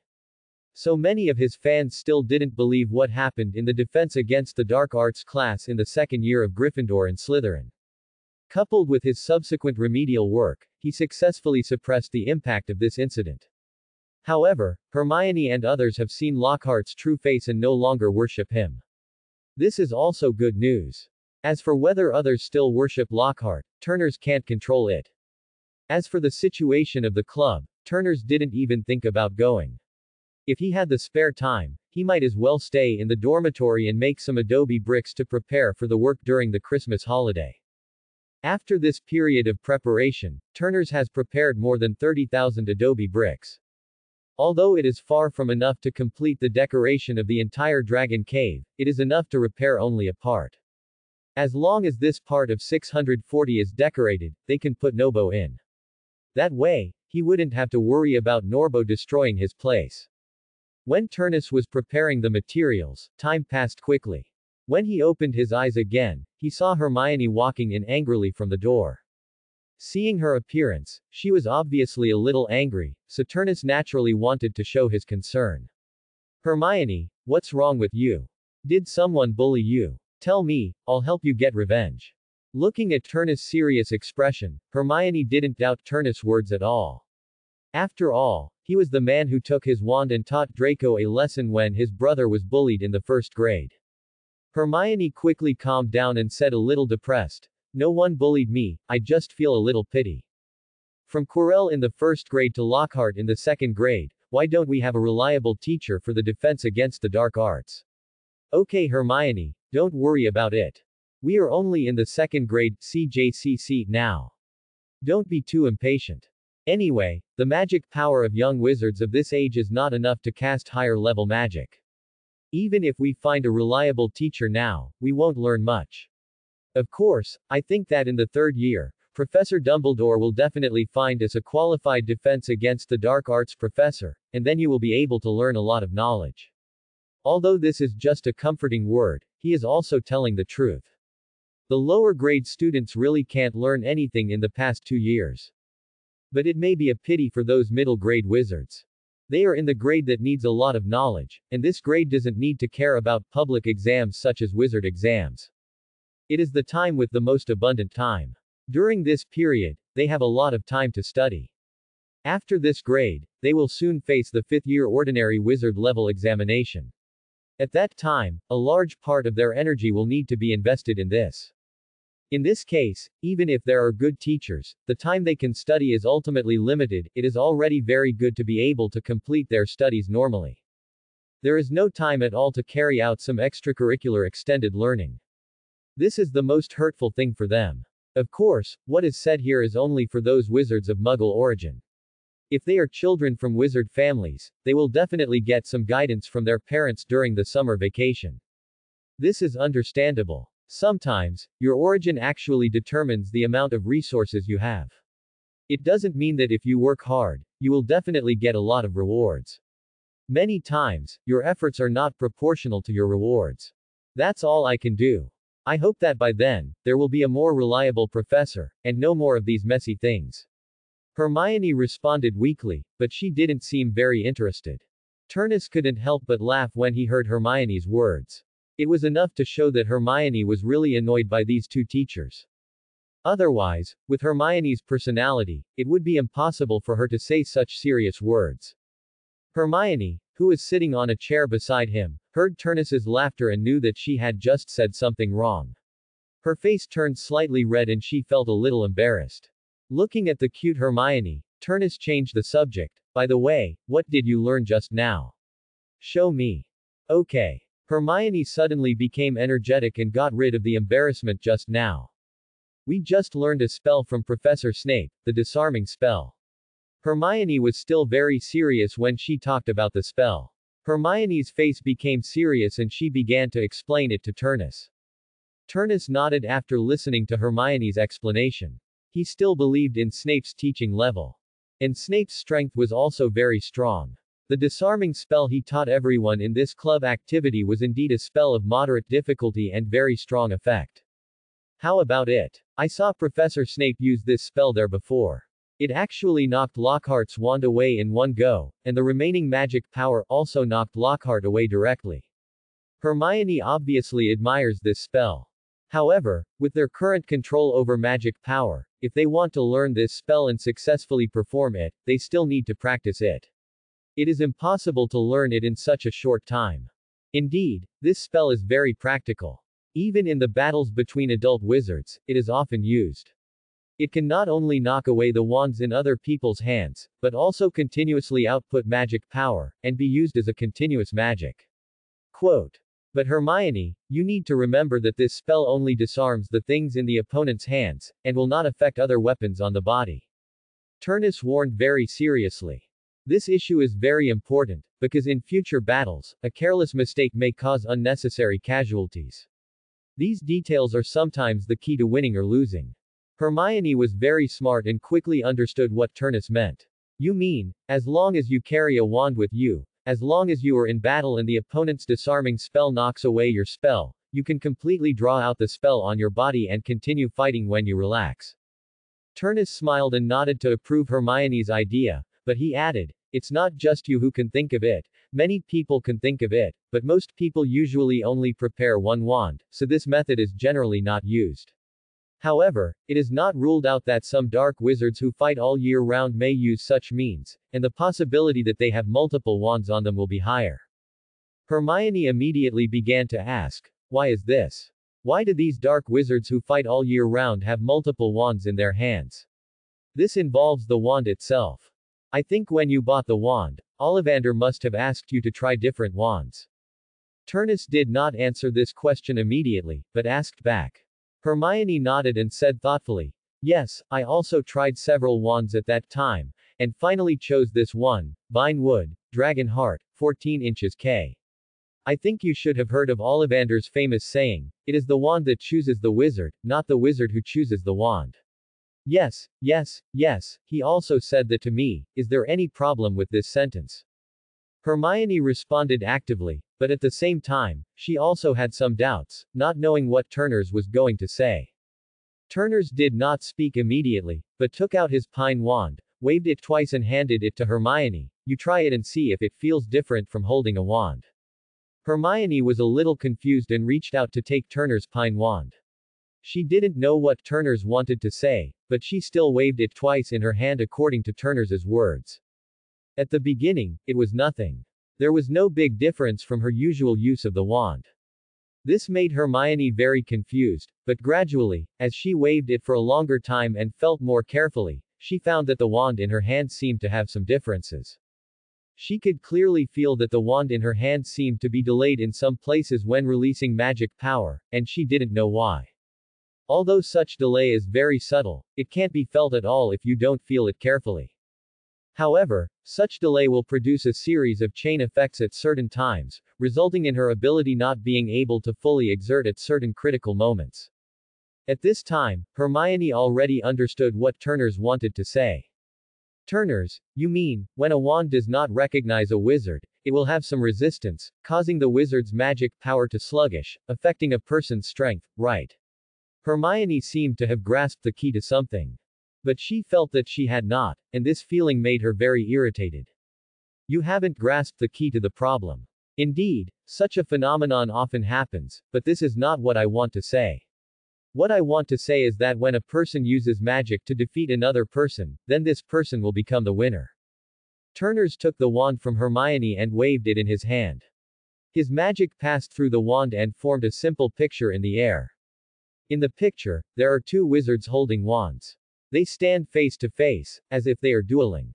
Turnus continued, when a wizard defeats another wizard, it proves that this wizard is stronger than the other. Quote. As Turnus explained, the picture in front of him changed. A wizard hit another person with a magic wand, and the person fell to the ground, while the winner gradually rose. He continued, the winner is stronger than the loser, and generally speaking, no matter what it is, as long as he has his own emotions, even if it is just a little bit, he will instinctively submit to the strong. And the magic wand happens to be such an item. Although Hermione was doubtful, she already had the answer in her heart. Yes, most wands have this characteristic, and the most obvious one is the Old Wand, one of the three legendary holy artifacts. It has been passed down from a long time ago, and there has always been only one way to change the owner, that is, the current owner defeats the previous owner. After hearing Turnus' words, Hermione looked at him in amazement, stood up and threw herself on him, holding Turnus' collar tightly with both hands, and asked in disbelief, What did you say? The legend of the three deathly holy artifacts is actually true. No way, this is impossible. Turnus looked at Hermione who was so excited that she had lost her composure, gently soothed her emotions, and whispered, Why can't it be true, they exist. What? Have you seen it? Where? Hermione immediately became excited. She didn't have any greedy ideas about the three deathly holy artifacts, but just because she was a little curious about what the legendary holy artifacts were like. It's Harry's invisibility cloak. It's one of the three holy artifacts. As for the Elder Wand, you are also familiar with its current owner. He is our headmaster, Albus Dumbledore. Turnus knew about this matter. Because this is no longer a secret in the top society. As long as they are powerful wizards, they are connected. Especially for pure blood families like Longbottom, for them, there are not many secrets in this world that they can't find. At this time, Hermione has not noticed that she is still lying on Turnus. And Turnus will not remind Hermione that such a good opportunity to cultivate intimacy, how could he destroy it? It was not until a long time later that Hermione digested this huge amount of information and came back to her senses from her absent-mindedness. It was not until this time that she realized that her and Turnus seemed to be a little too intimate. Hermione quickly got up, blushing with embarrassment, and didn't dare to look at Turnus. Turnus didn't tease Hermione. Okay Hermione, let me continue to practice the disarming spell now. Let me see how good you are at the disarming spell now. Actually, what level is there? Hermione has just started to learn this magic, and it's hard to perform it successfully, let alone other things. All Turnus can do is to be a human target to set an attack target for Hermione. Hermione and Turnus used his dormitory as a practice place and started practicing spells here. At the beginning, Hermione was indeed unable to successfully release this magic, and at most she could only form a beam of magic to form some insignificant impact force. It should be said that Hermione is worthy of it. 4. 4. 7. After a period of practice, Hermione has been very fast, improving her control of the disarming spell. Such a speed of improvement can be said to be very fast, even Turnus was secretly amazed. In the end, Hermione finally successfully released the magic and knocked Turnus's wand away. Seeing Turnus's wand fall out of his hand, Hermione immediately jumped up excitedly and jumped into Turnus' arms, obviously very happy. Seeing Hermione's true feelings, Ness also became happy. Turnus, thank you so much for helping me practice this magic. Hermione said excitedly while hugging Turnus. No need to thank me, we are good friends. Turnus gently patted Hermione's shoulder to calm her excitement. In the following time, Hermione was familiar with the release process of this magic, and at the same time felt what kind of performance this magic would have under different magic output. Time passed quickly as the two of them practiced magic. In the next few days, everyone could notice that the relationship between Turnus and Hermione became closer. Although they were not yet at the level of boyfriend and girlfriend, they had already exceeded the scope of normal good friends. Hermione was obviously aware of this, but she didn't care. On the contrary, she was still very happy. She liked the current mode of getting along, which made her very happy. Time passed quickly. After they had their last dinner, the students who went home for Christmas all carried their luggage and boarded the train home. Those who didn't go home were busy with their own things. Since the last attack by Colin, nothing had happened for a long time. Everyone was still relaxed and would not have any bad effects due to excessive tension. Everyone was doing their own things. This Christmas, there were not many students staying in school, and there would not be too many people staying outside. It snowed again recently, and the weather turned a little cold. At this time, there was no place warmer and more comfortable than the common room of each college. Of course, there were still some people who had to go out to do things. Turnus and others were obviously this kind of people. Who asked them to help Nobo find a new home. In order to complete this task as soon as possible, they could only move forward on the thick snow. Turnus, what materials have you prepared? Are they enough to make a small place for Nobo? Draco was still a little worried, worried that Turnus didn't prepare enough materials, and the place made for Nobo was not big enough, which was wronged by his sweetheart. Turnus rolled his eyes helplessly. He was doing hard labor for free. You still have so many requirements. He was too lazy to pay attention to Draco, and walked forward without saying a word. Looking at Turnus who didn't pay attention to him at all, Draco was bored and didn't say anything more. He followed Turnus and others honestly and walked towards Hagrid's hut. When they arrived here, Hagrid had been waiting outside early. He had been looking forward to this day for a long time, and now he finally waited for Turnus and them, naturally very happy. Hagrid came up with a smile, brushed the snow off Turn's body, and said excitedly, You are finally here, let's start now, Nobo can't wait, you don't know how happy he was when I told him the news today. Turnus rolled his eyes and said speechlessly, Yes, I noticed it too. Turnus looked at Hagrid's clothes that were burned by the dragon's breath. Hagrid scratched his head honestly and defended his dragon son. Nobo was too happy, so he couldn't control himself and some fire came out of his nose, but he already knew he was wrong and is now staying in the suitcase honestly. Quote. Kan J Hagrid na long nu de yong zi te na si gen de buji dao gai shuo xian mi la ideographic period. Ren jia zui duo yi ju shi tian yi tian nu ren, ni dao hao, tian chi le huo long lai, ta men nao chi xiao pai chi lai, ke bu shi nao j wanda ideographic period. Bu guo, zai te na si de mian qian, nuo bo dao yi ji do fei chong de guai chao ideographic period. Bu shi yin wei bia de, er shi dan chun de bei zo pa la ideographic period. Te na si ke kong lai bu wei guan jie tada, ji yao yi yu bu dui, ju ji jia sheng shou cho ta, ju suan shi Hagrid couldn't stop him.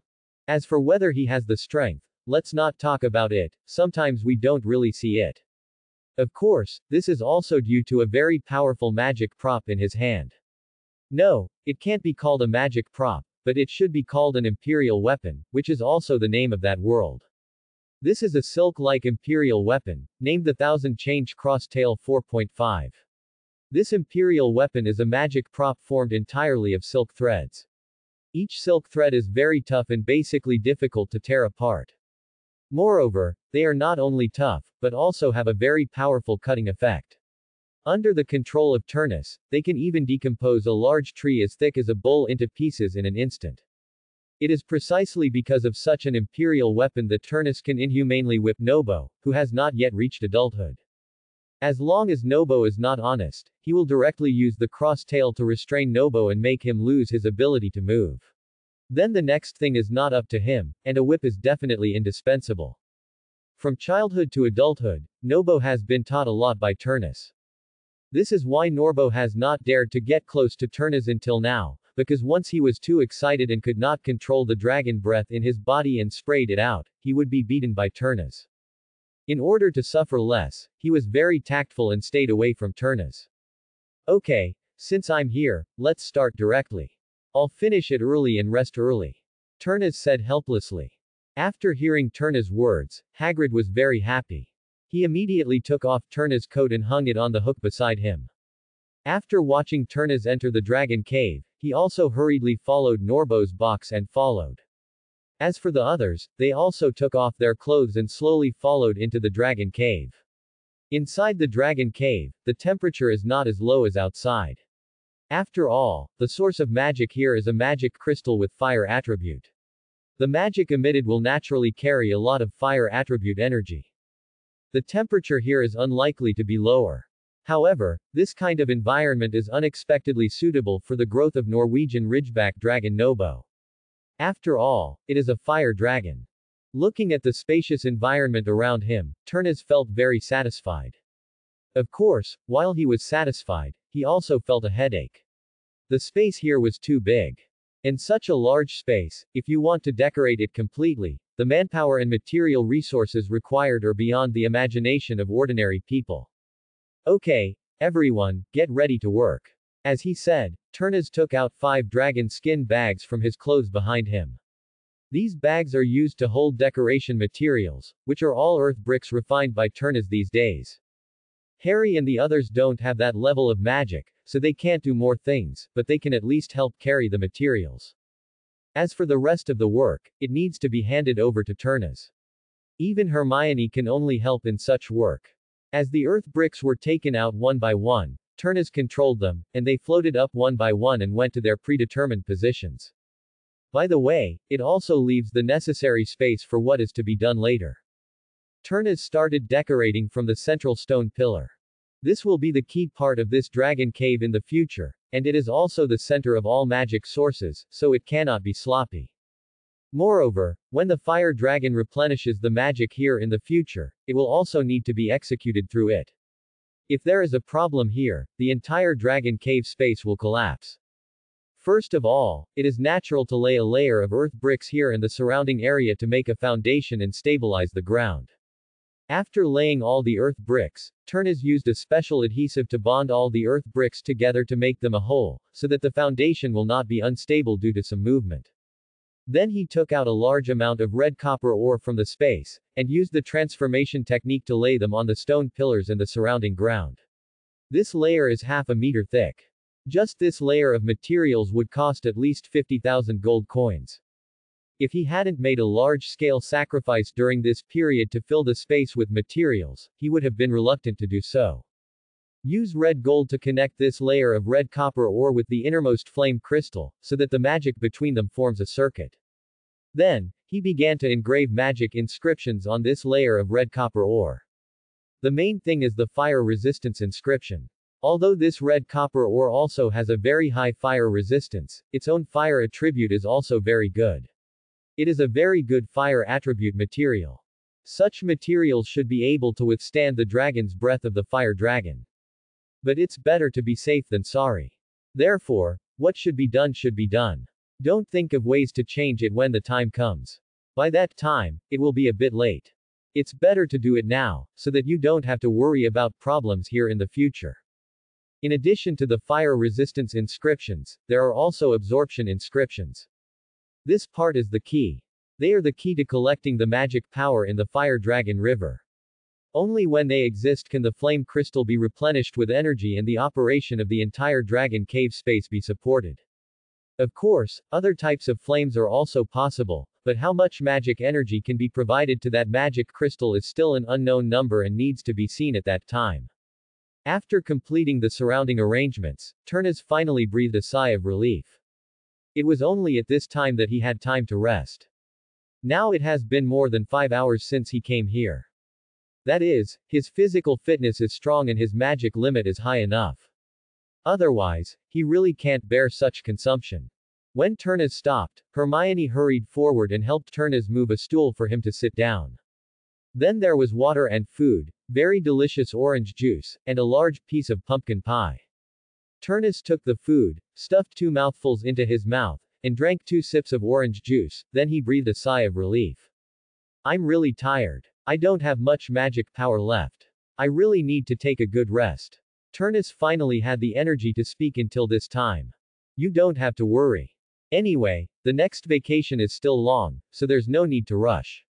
Hermione was on the side, rubbing Turnus' arm holding the wand, and gently persuaded him. It won't happen later. Turnus did not live up to Hermione's kindness. His previous work was also because he had to do it in one step, otherwise it would be easy to make mistakes. Otherwise, he would not have worked so hard for Nobo. The work will be much easier in the future. You just need to reinforce the entire space. When the time comes, you can help me. Turnus said with a smile, and at the same time leaned back on the chair with great enjoyment. Looking at Turnus in such a posture, Hermione didn't care and continued to help him relax his arms. At this time, Harry and his friends also came here. They had just come back from putting materials there. They were not very tired, and they did not do anything. Looking at these two people, Draco smiled maliciously and said jokingly, What are you doing? Do you want to do something that adults do here? Do we need to avoid it? Looking at Draco who deserved to be beaten, Harry and others quietly moved away from him. Hagrid looked at Draco like this and opened his mouth but didn't say anything. However, he also saw the actions of Harry and the others, and wisely stayed away from Draco like Harry and the others. Although Hermione was a little shy and her face was already red, she didn't stop her actions because of shyness when she thought of Turnus's workload before. Her face was just red, which was very cute. Turnus was very angry at this time and glared at Draco fiercely. This guy had no eyesight at all and deserved his bad luck. Without seeing any movement from him, Draco's body soared into the sky uncontrollably and was suspended upside down in the air. Draco was mentally broken by this sudden attack, and he shouted very rudely, asking everyone to save him. But at this time, who would offend Turnus? At this time, Draco's life or death was at stake, so everyone sat aside quietly, eating and drinking water to replenish their consumption. Seeing this, Hermione knew that it was Turnus who took action. While helping Turnus relax, she looked at Draco above her head. At the same time, one hand was free, and a silencing spell was released while waving the wand. Equals. Plus. Hash. The dragon cave, which was originally a little noisy, was now silent, with only the sound of people eating. Watching the fierce operations of the two people beside them, Harry and the others lowered their heads one by one, not daring to make a sound, even the sound of eating was suppressed very low. Fearing that Turnus would retaliate. But just sitting here was also boring, and Harry couldn't help but start looking for topics. And recently, what is more attractive than the Chamber of Secrets? Naturally, Harry spoke up, Turnus, Professor Dumbledore has not yet figured out a way to deal with the monster in the Chamber of Secrets. Do you think Hogwarts will really be closed in the end? Hearing Harry's question, Turnus didn't care. He knew that Hogwarts would definitely not be disbanded. Even if the basilisk made a big noise, at most classes would be suspended for a period of time. As for closing Hogwarts completely, that was simply impossible. It's impossible. Hogwarts will not be disbanded. Turnus answered very confidently. Although he didn't know the specific reason, seeing Turnus' affirmation, Harry breathed a sigh of relief. Hogwarts was his favorite place now. If such a place was closed, he really didn't know where to go. Hagrid on the side seemed to know something, but after hesitating for a while, he didn't say what he wanted to say, as if he had some reservations. Turnus felt that Draco had been punished enough, so he stopped hanging him and let him down.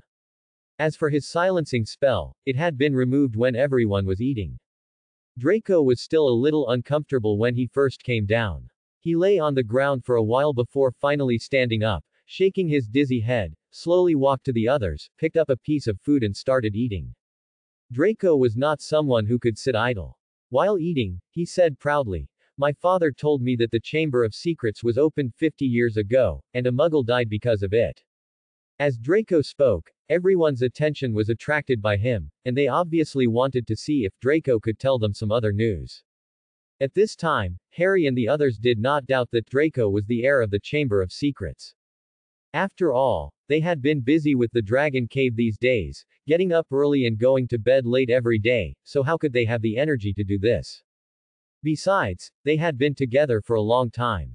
If Draco had any abnormality, he would definitely reveal some clues, and they could not have no idea. Harry was still very concerned about the Chamber of Secrets, and immediately asked Draco, Draco, did your father tell us who was the person who opened the Chamber of Secrets back then? Listening to Harry's question and looking at his anxious look, Draco's tail unconsciously began to rise again. He looked at Harry very proudly and said in a flamboyant tone, Scarhead, do you think I will tell you? Although his tone was very arrogant, there was a trace of embarrassment in the depths of his eyes, because he would never say it out, he himself didn't know, this was a very hard-earned pretense, how could it be easily seen through? Turnus glanced at Draco, curled his lips and said disdainfully, You don't know. Draco immediately exploded and shouted loudly, How is it possible, how could I not know? Although he pretended to be very angry, the guilty conscience in his eyes exposed his true colors. This time, with such an obvious performance, Harry and the others obviously saw something, and they all sighed, thinking that they could know some inside information, but they didn't expect that it was just a rookie who only knew a little bit. Looking at the regretful expressions of Harry and others, Draco couldn't pretend anymore at this time. After all, he really didn't know any useful information. Turnus on the side suddenly thought of something and looked at Hagrid on the side. At this time, Hagrid was still grateful that Draco didn't know the inside story of what happened that year promised. Looking at Hagrid's expression, Turnus was a little strange, not knowing why he had such an expression. But he didn't think much about it, but asked Hagrid. Hagrid, according to your age, you should have been studying at Hogwarts, do you know anything? After hearing what Turnus asked Hagrid, the others realized that it was true. There was indeed someone around them who might have been a student back then, so he should know something. They couldn't help but look at Hagrid, wanting to get some answers from him. But Hagrid, who was just feeling lucky, was suddenly asked, and panicked for a moment, anxiously defending, It wasn't me, it really wasn't me who opened the Chamber of Secrets back then, I didn't hurt anyone, and Aragog wouldn't have done that, he was so sinful. Faced with Hagrid's sudden self-explosion, no one was able to react. When they reacted, they all looked at Hagrid with disbelief. It was not until he saw everyone's expressions that he realized that he seemed to have let something slip. He quickly covered his mouth in a silly way to hide the fact that he had let something slip. But how could this be covered up? Harry and the others immediately rushed up and surrounded Hagrid and questioned him. At this point, Hagrid knew that he had to confess. With their attitude, they were obviously going to get to the bottom of it. Although he regretted his own thick nerves, why did he let it slip here? If he hadn't said this, he might not have been questioned. Harry and the others would not have known what he had done. Although he didn't think there was anything wrong with what he did at the time. In the end, Hagrid still told Turnus and the others about his experience that year. It turned out that when the Chamber of Secrets was opened, Hagrid also did a very stupid thing at that time. He secretly raised a giant spider with eight 590 eyes in the castle. It was because of this incident that he was identified as the heir of Slytherin by Tom Riddle, the then student president, and was directly arrested to Azkaban. At the same time, his status as a Hogwarts student was revoked, his wand was broken, and he lost the right to use magic from then on. Although later, he was Dumbledore came out to guarantee, but there was no change to his sentence, because he did do something stupid. In Hogwarts, raising a creature with a dangerous level of XXXXX is an irresponsible act towards the lives of others and oneself. Even if he knew that he was not the opener of the Chamber of Secrets, he could still be sentenced to a certain punishment for the crime he committed. Of course, it would not be as serious as it is now, and he would be directly banned from using magic for life. After listening to Hagrid's story, the people present looked at Hagrid with some fear. Even Turnus, although he was not afraid, suddenly thought of one thing. Digging a huge space like a dragon's lair under Hagrid's house, would it become a breeding ground for all of Hagrid's dangerous creatures in the end? If this is really the case, it would be fine if there is no problem. Once there is a problem, this place will become a place more dangerous than Slytherin's Chamber of Secrets. Thinking of this, Turnus regretted digging such a place. He really didn't know whether this was helping Hagrid is still harming him. This is not Turnus' exaggerating, but it is very likely to happen. Hagrid's attitude towards magical creatures is really problematic. He really likes those dangerous magical creatures too much and doesn't think they are dangerous at all. He would not consider what kind of consequences this would bring to him and the surrounding environment. All of this was not within his thinking range. Seeing that Turnus' expression suddenly changed, Hermione asked nervously, Turnus, is there something wrong? I think your mood seems to be a little wrong. Hearing Hermione's call, Turnus woke up from his meditation, looked at the concerned eyes of others around him, and saw Hagrid looking at him cautiously as if he had done something wrong. Turnus suddenly felt that Hagrid was not a wicked person. He just couldn't tell which magical creatures could be raised and which could not be raised. As long as he was told all this, he should be able to suppress his preferences. Okay. At least part of it is still okay. Okay.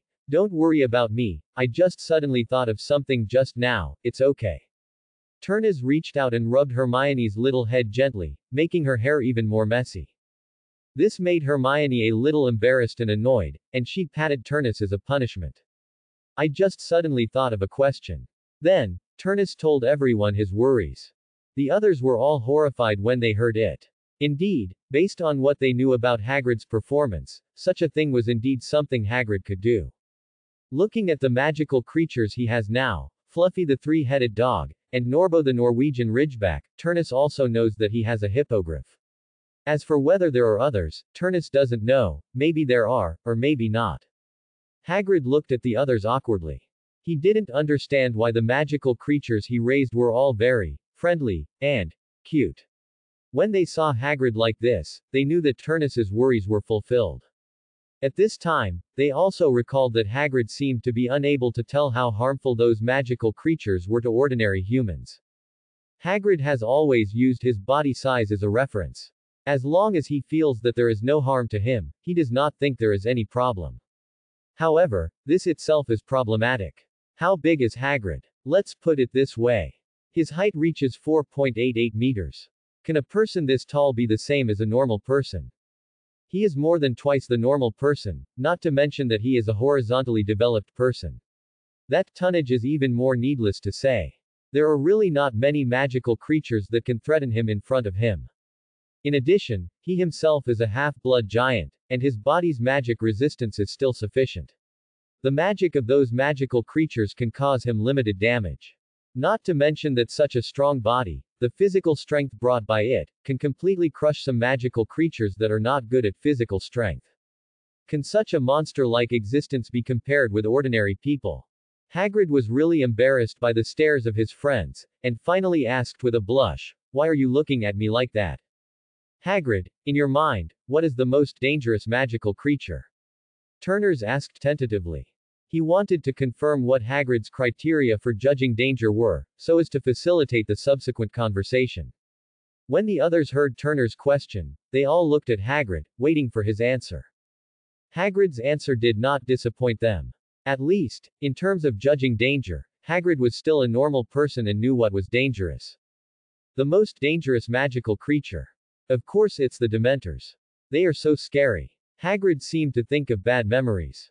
When he mentioned the Dementors, he couldn't help but shudder. Obviously, he was left with a psychological shadow. Turnus had also learned about Dementors. They were very scary magical creatures. They feed on human happiness.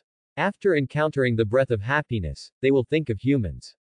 Through the mouth, they can directly absorb the happiness emitted by people. Turnus didn't know the specific principle, but it was indeed a very scary magical creature. It is said that their kiss can directly suck your soul out of the body.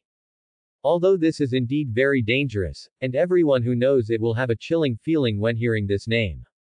However, at this time, such an answer undoubtedly proved that Hagrid still had the ability to judge the danger, but he was used to judging the danger of other creatures based on his own standards. Although this was also quite dangerous, at least it could be corrected through persuasion and explanation, at least making him understand that magical creatures that were not very dangerous to him were not necessarily harmless to others. For a long time afterwards, everyone began to explain this danger judgment to Hagrid. Try to make Hagrid put his danger judgment value on the same level as humans, ordinary humans, not humans, like him. Later, Hagrid's situation was really difficult to correct. Turnus even asked Harry and the others to put down all the work at hand and only do ideological work for Hagrid, asking him to work hard to correct his thinking logic. Turnus had no choice. He was really dry-mouthed and did not see much improvement. So, he simply handed this troublesome matter to them.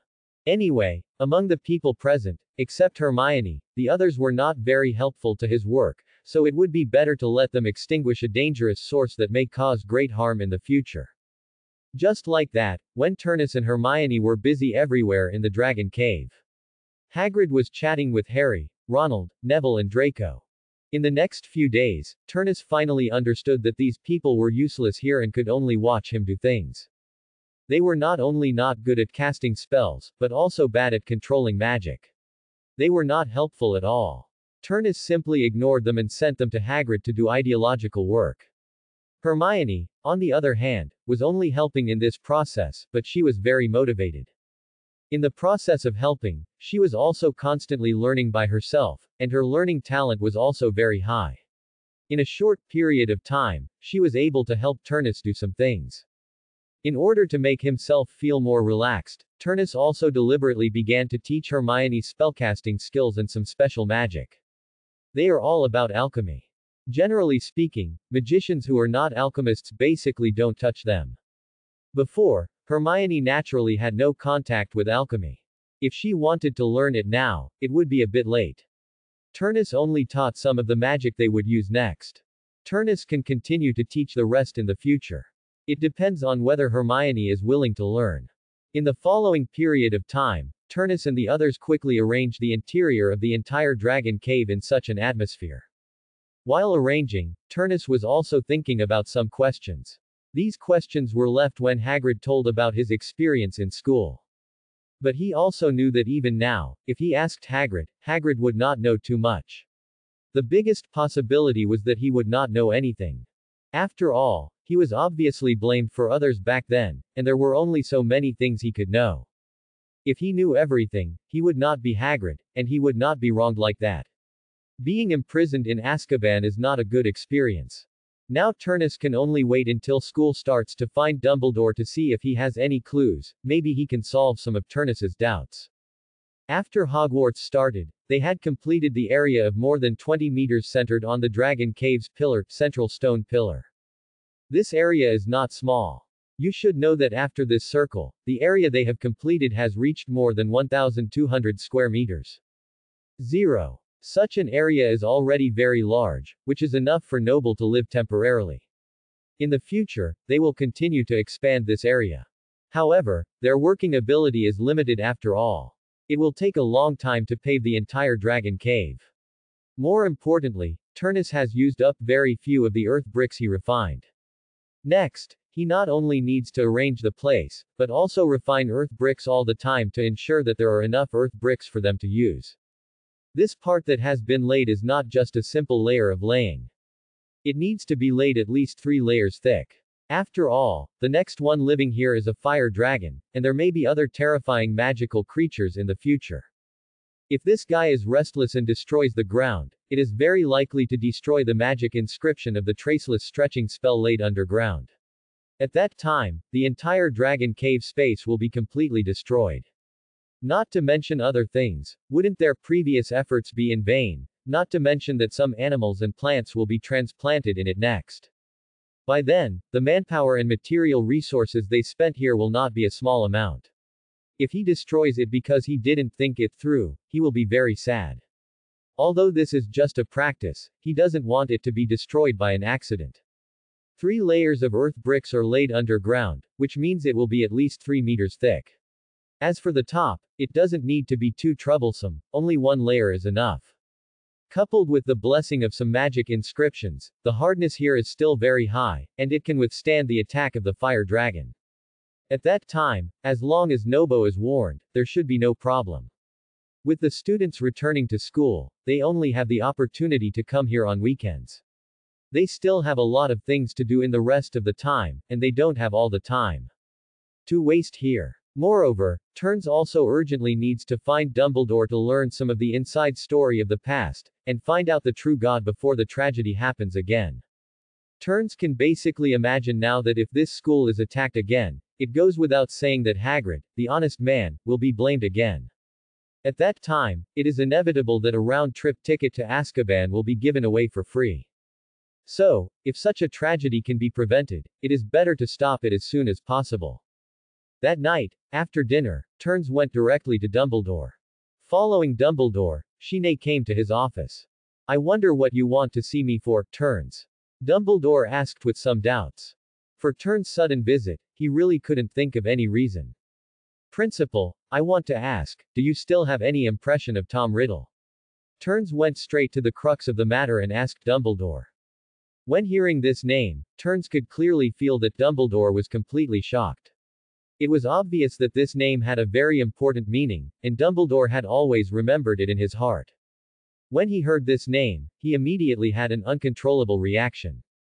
Although he quickly concealed it, Turnus still noticed the change in Dumbledore. Principal, you must know this person, right? Can you tell me about him? Turnus asked immediately, not giving Dumbledore a chance to deny it. Dumbledore leaned back and leaned on the back of the chair. He took off his glasses, wiped them gently with the corner of his clothes, and put them back on. Then he said, for this name, where did you know it from? Turnus did not have too many emotions. If there was any, it was a little joy. He knew that Dumbledore had already loosened up and was going to ask the question he asked. It's Hagrid. When we were chatting some time ago, he told us some things that happened in the school 50 years ago. Turnus said directly. There is no need to hide anything from Dumbledore. There is nothing shameful about it. So that's how it is. The school did treat him unfairly in that incident. In order for the school to continue to operate, I can only make the best of a bad situation and let Hagrid take the responsibility. Dumbledore said apologetically. He knew that Hagrid didn't do it, but if he didn't handle it that way, the entire Hogwarts might be forced to close. He absolutely couldn't accept such a consequence. In fact, you don't have to be sad, headmaster. Hagrid did do something wrong back then. Although he didn't open the Chamber of Secrets, he also kept an eight-eyed giant spider in Hogwarts. It was a magical creature of the XXXXX level announced by the Ministry of Magic. It was extremely dangerous. He also redeemed himself for his actions. Turnus didn't comfort Dumbledore. This was the fact. Hagrid was wrong and there was nothing to hide. Besides, the punishment he received was already severe enough. Is that so? So that's why Hagrid didn't want to say it. What kind of magical creature did he keep privately at that time? Although Dumbledore had some guesses, he still didn't delve into such things.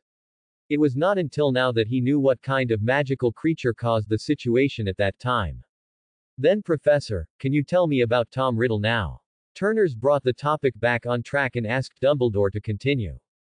Dumbledore fell into deep thought and slowly said, He is a very talented wizard. I was the one who picked him up when he enrolled. Sometimes, I regret my action at that time. If I hadn't been there at that time, maybe the whole world would be much more peaceful.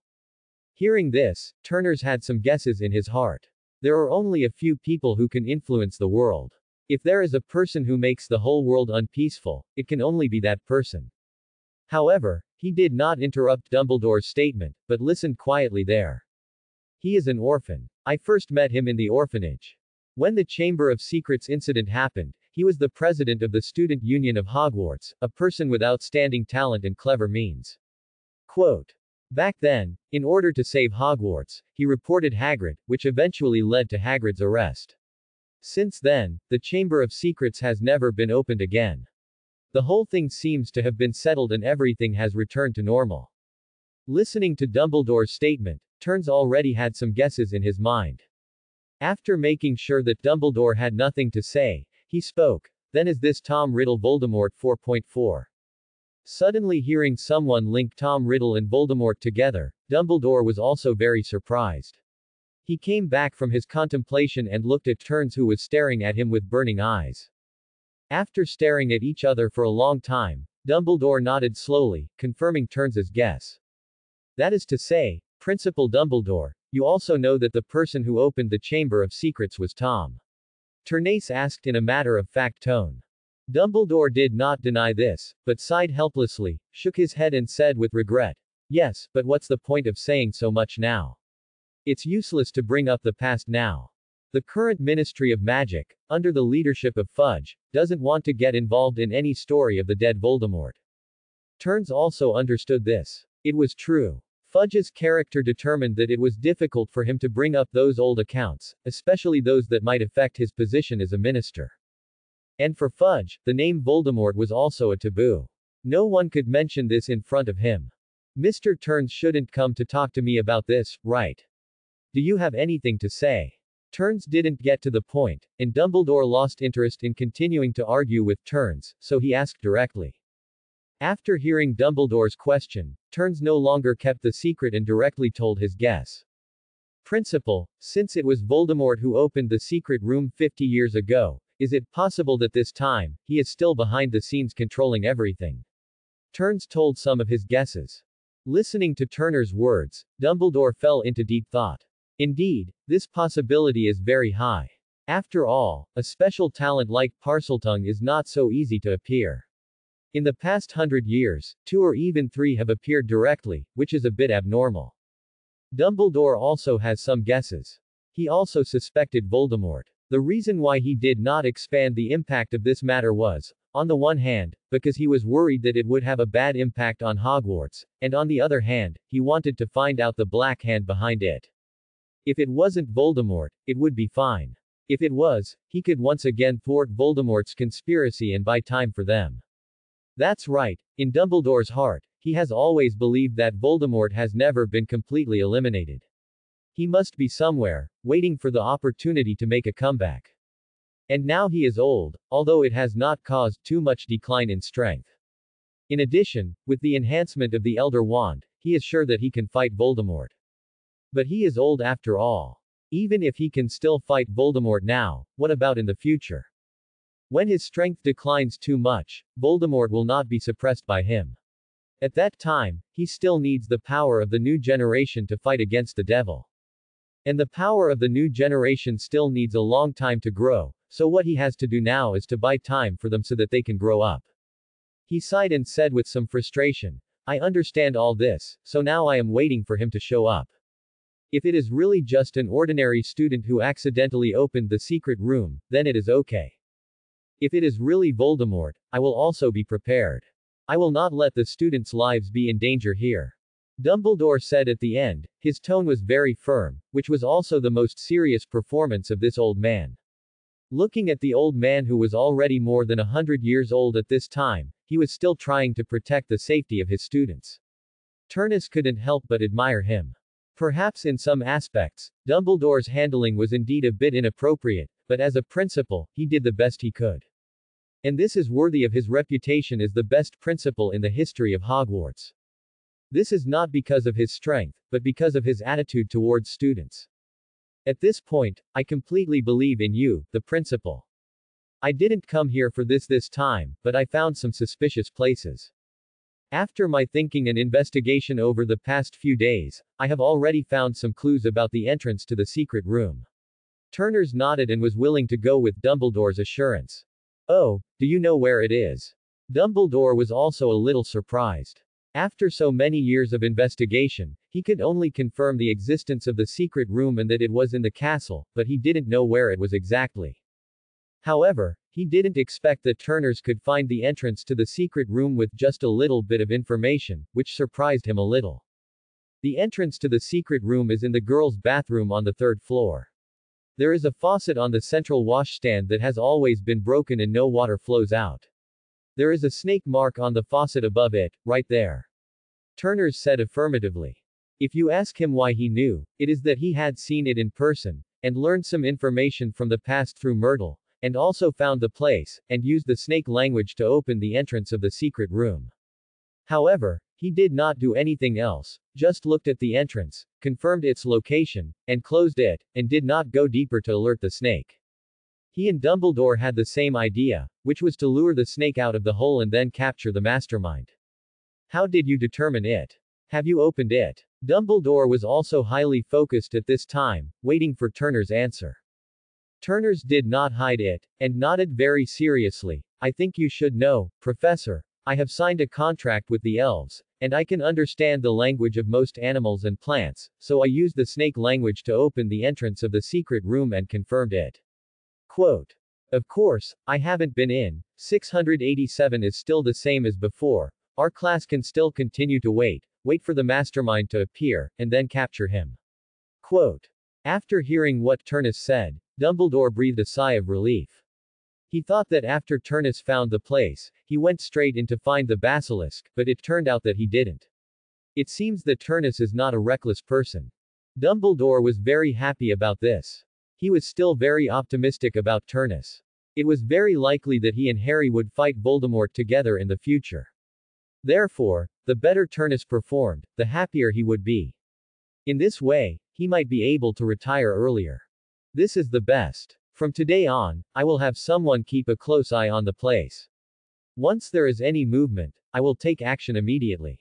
At that time, I must catch the mastermind behind this time. Dumbledore said firmly. This time, the other party did touch his bottom line. For him, Hogwarts is his bottom line, and his students are his last persistence. Now someone is joking about the safety of his students' lives, which is very annoying for him. After listening, Turnus nodded and had no opinion on it. However, he suddenly thought of something, so he asked, Then Principal Dumbledore, have you thought of any other way to deal with the eyes of the basilisk? This is a very tricky thing. Dumbledore smiled slightly. He was still very confident about this, after all, he had a phoenix in his hand. The magic resistance of the phoenix is very high, and its characteristics of rebirth from the ashes can restrain the death gaze of the basilisk. Facing the basilisk, the phoenix Fawkes can be of great help. He looked up and looked at Fawkes squatting on the shelf. At this time, Fawkes was already a little old and looked old, and his breath was also very weak. However, these could not conceal the fact that he was a phoenix. This was only temporary. After he was reborn from the ashes again, it would not take long for him to regain his vitality, and it would be easy to deal with the basilisk at that time. When seeing Dumbledore's actions, Turnus also followed his gaze and found Fawkes's existence. In fact, he had heard that Dumbledore had a phoenix, but he had never seen it. Now that he saw it, he also felt it was very magical. A creature like the phoenix is a legend no matter where it is. Now seeing the phoenix, to be honest, Turnus was a little disappointed. This phoenix did not show the spirit of the phoenix at all. At most, it was a magical creature with the name of the phoenix. In this world, it may be considered a good magical creature, but compared with the real phoenix, it is far worse. However, he quickly hid his emotions and did not show them. After all, this phoenix, even in this world, is a very precious existence, not as bad as Turnus imagined. Besides, this is someone else's magical creature, and it has nothing to do with him. Dumbledore was also paying attention to Fawkes's condition at this time, and did not notice Turnus' eyes. He is called Fawkes and is a phoenix. With him, he should be able to deal with the death gaze of the basilisk. As long as the basilisk loses his eyes, then its role will be very small, and it will be easier to deal with it at that time. Dumbledore said his own way to deal with it. After listening to it, Turnus felt a little bit sorry. After all, these were the eyes of the basilisk, and when this basilisk lived for thousands of years, the power of his eyes could be imagined, and it must be very terrifying. As long as he could get it, after some refining, it could at least be regarded as a legendary magic item. Of course, if his alchemy skills could be stronger, it would not be impossible to refine a divine weapon. After all, now it is just a pair of eyes, but it has such great power. As long as it is taken off, it will at least be a high-level magic item, and it will definitely be of a higher grade after refining. If such a thing is destroyed like this, Turnus will definitely not allow it. So, he suggested, Principal Dumbledore, why don't you give me the task of dealing with the basilisk? Quote. Huh. Dumbledore was stunned when he heard Turnus' words. He didn't understand what he was talking about for a moment.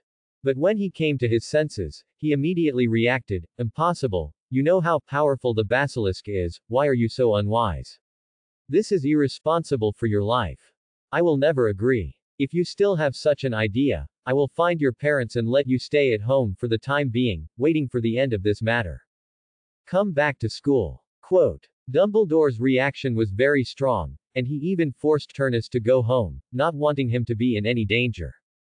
Looking at Dumbledore like this, Turnus didn't know why he felt a little warm in his heart. Such an old man who has no relationship with you can be so worried about your safety, which is enough to show that he really cares about you. But although he was moved, Turnus's thoughts were still not shaken at all. He said this because he was sure enough, otherwise he would not say such words. No matter how good the magic props are, they are not as good as his own life after all. If he is put in danger because of the eyes of the basilisk, he himself will not agree. Turnus knew that if he didn't give enough reasons, Dumbledore would never allow him to do such a dangerous thing. Without any hesitation, Turnus stood up and stepped back a few steps to make enough space in front of him. Then he began to mobilize the magic power in his body, and the magic power flowed along his arms and onto his hands. Turnus' hands began to move. At the beginning, the fluctuations of the magic power were not very obvious, but soon, a carrier of the second or third knot level appeared in front of him. Turnus' hands kept moving, and magic runes began to gradually spread on this carrier. In the end, two round shields appeared on Turnus' arms. These two shields are completely made of magic power. Although they look very weak and give people the feeling that they will break at the touch. However, the defensive power of these two shields is very strong. Not to mention ordinary guns, even if a rocket hits them, it will not break these shields. The shield was broken. And this is just physical defense. The power of magic defense is also very strong. According to preliminary estimates, it can at least block the high-level attack spells released by intermediate magicians, good ones. For advanced magicians, intermediate spells may be a little difficult, but it is no problem to block it once. Such means are enough to deal with the basilisk. The body of the basilisk is huge, but the physical attack it can burst out is at most equivalent to a rocket. It can't be blocked for a long time. If it's only 10 minutes, there is no problem. As for the basilisk's killer weapon, the pair of death-staring eyes, it is even simpler. Turnus can fight the basilisk with his eyes closed. Don't forget that he can use the domineering color of observation, so he doesn't need vision. Although he is a little uncomfortable, he can fight. Professor, why don't you try my defense method? Turnus raised his shield excitedly and showed his head to Dumbledore. This is indeed a capital for showing off. The magic he is releasing now is magic of different systems. He learned it all by himself with the help of a book. Without a teacher, being able to learn the bearing and construction of two or three knots so quickly is already a very good talent. Dumbledore was a little curious when he saw Turnus tinkering with it for a long time and making such a two-sided magic round shield. It's not that he is curious about what kind of magic this is. In fact, magic used in melee combat has appeared in this world, but it has gradually been replaced by the current magic system in the later evolution. He is curious about how Turnus learned such magic, and how powerful such magic is, which actually gave Turnus the courage to challenge the basilisk. Your melee magic is indeed interesting, but Turnus, I have to warn you that the enemy you are facing this time cannot be dealt with by such simple melee magic. Dumbledore did not try the defensive ability of the magic shield as Turnus said. After hearing what Dumbledore said, he knew that Dumbledore had misunderstood him. Indeed, the opponent this time was a very powerful basilisk. The size of the basilisk 727, which had lived for thousands of years, was conceivably very large. In Dumbledore's mind, even the melee magic in the last great era of magic would not have much effect. After all, as long as they were magical creatures, their magic resistance and magic attack were proportional, and they were very powerful. Moreover, as time went by, they would only become stronger. Unless they entered a period of decline, their strength would not regress. Turnus explained, Principal Dumbledore, my magic is not that simple. You only need to try the defense of the magic shield. Later, I will explain to you the real reason why I want to deal with the basilisk. Dumbledore looked at Turnus' stubborn little face and was helpless. He could only draw out his wand and prepare to let Turnus give up. Dumbledore casually released an offensive magic, which was not of high level, and he did not use much magic power. Just to teach Turnus a lesson, he did not want to make a mistake. Really hurt Turnus. As the magic shot out from the top of Dumbledore's old wand, a silver-white magic attacked Turnus' magic shield. When the magic hit the shield on Turnus' arm, the magic shield on Turnus' arm produced ripples, and the magic inscriptions on the shield all lit up in an instant, consuming Turnus' magic power to offset this magic attack. In just one second, Dumbledore's magic was offset by the magic inscriptions on the magic shield in some mysterious way. This move shocked Dumbledore. You know, although he was not serious just now, and the offensive magic he used was not very powerful, but with his strength, combined with the old wand, even if he was not serious. The power that can be exerted by that magic is not something that an ordinary intermediate magician can overcome. In other words, Turnus only used the magic shield in his hand to resist an attack from a senior magician. And Turnus only took one second to completely eliminate such an attack. Think about it more deeply. Turnus needs one second to attack like this, which means that in this second, Turnus can withstand two attacks from a senior magician in succession. But we also need to consider the question of how many times a senior magician can attack in one second. Dumbledore tells you with his rich experience that being able to attack once a second is considered great. Of course, Dumbledore's idea is still magic with the same attack strength as his. Perhaps many wizards who have not inherited and have only relied on their own talents to improve themselves may have their own specialties, but it is certain that those who can cast magic with the same attack strength as Dumbledore just now are also the best among them. Looking at Turnus like this, Dumbledore suddenly realized that he seemed to be really old. Are children nowadays so scary? A 13-year-old child can have the strength of a senior magician. How can an old man like him live? Turnus, how long can your magic shield last? Dumbledore is worthy of being a wizard. He quickly thought of a key issue, that is, the sustainability of magic. If a powerful magic is not sustainable enough, then the combat power it can exert is ultimately limited.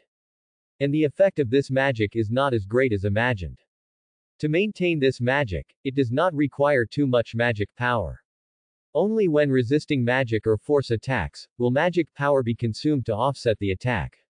If it is the magic you just used, I can resist it more than a hundred times. Magic power will still be consumed, but when not facing an attack, the magic power consumed is very little. With Turnus' natural affinity physique, the magic power recovery speed is even faster than the consumption speed of these two magic shields. So, Turnus has no pressure to maintain magic. Dumbledore nodded very happily and said with a smile, That's good, this magic is really amazing. I didn't expect you to be able to get such an inheritance. It seems that you also have your own opportunities. Obviously, at this moment, Dumbledore has made up a lot of things in his mind. Turnus is happy to see this, which also saves him a lot of explanation. But, just when Turnus was happy, Dumbledore's but made Turnus confused. He didn't know what Dumbledore was butting. Dumbledore continued, If this is your confidence, then I can only say that you are too naive. The basilisk cannot be dealt with by relying on these two shields. I still cannot agree. There were several black lines on Turnus's forehead. Obviously, Dumbledore misunderstood and thought that he wanted to rely on these two shields to deal with the basilisk. But Turnus is not someone who can deal with the basilisk with just these two tortoise shells. Principal, you misunderstood me. The reason why I used these two shields is to show you that I can protect myself from the basilisk. I have other means to deal with the basilisk, not relying on this. Turnus explained helplessly. Dumbledore couldn't help blushing slightly after hearing this. He also understood that he underestimated Turnus. It turned out that Turnus had other means. Dumbledore didn't speak again, but just stretched out his hand to ask him to continue to use his means. Principal, I have an ability that can detect the movements within a certain range around me without relying on my eyes. I rely on this method to avoid the magic of the basilisk's eyes. Hearing Turnus' words, Dumbledore was shocked again.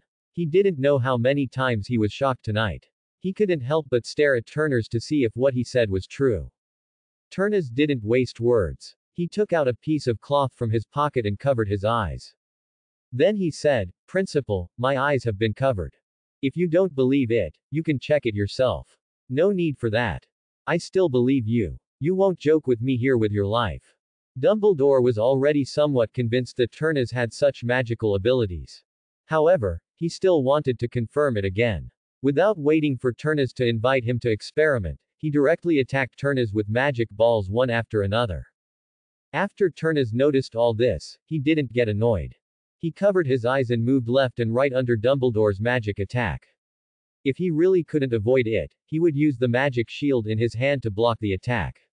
In the continuous attack of more than 10 seconds, there was no mistake, and every time he could avoid Dumbledore's attack just right.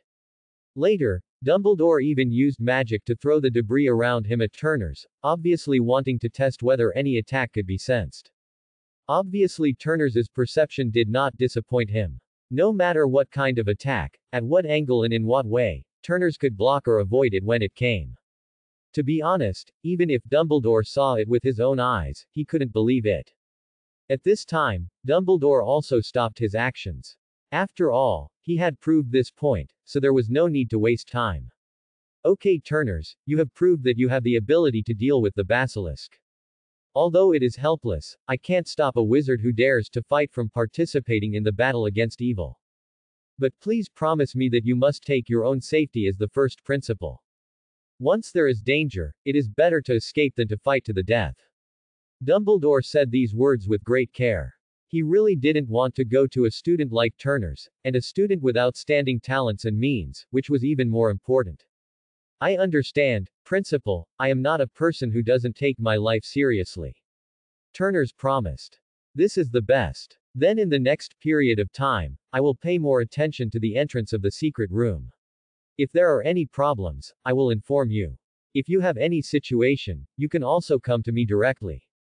Well, then, I will leave first, Professor. Turnus stood up and said goodbye. Since that conversation, Turnus has focused on his studies. The current second year courses naturally cannot attract Turnus' attention.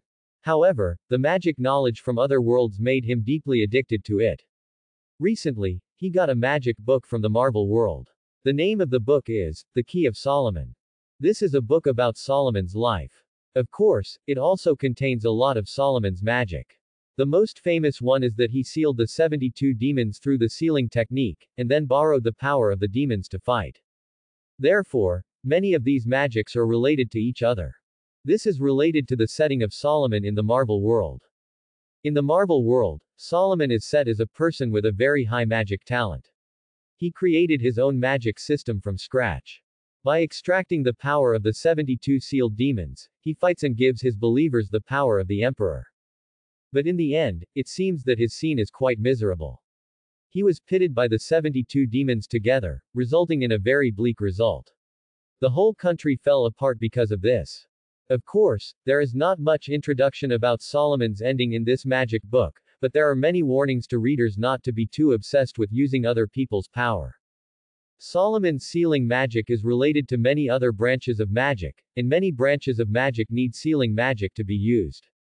In other words, he first needs to seal some creatures before he can use many of the magic. The magic in this magic book is very advanced, far from what Turnus can use now. However, there are also many stories about Solomon's characters, so Turnus just read it as a storybook. Of course, some of them are Solomon's understanding of magic. Solomon is also a master of magic. His magic is based on some inheritance, and then developed, and many magics are created by himself. Many of the magic concepts in it are very inspiring and have inspired Turnus a lot. In addition, there is a lot of alchemy knowledge in it, which is also very interesting to Turnus. In this magic book, Turnus learned a lot, and he admired Solomon's magic talent very much. Although he couldn't use many of the magic in it, at least not yet, and there were some that he couldn't learn for the time being, but he believed that he would be able to use them one day in the future. And there was also a very special magic in it, which could not be considered magic, but a contract. Thanks for watching, please subscribe and support our channel.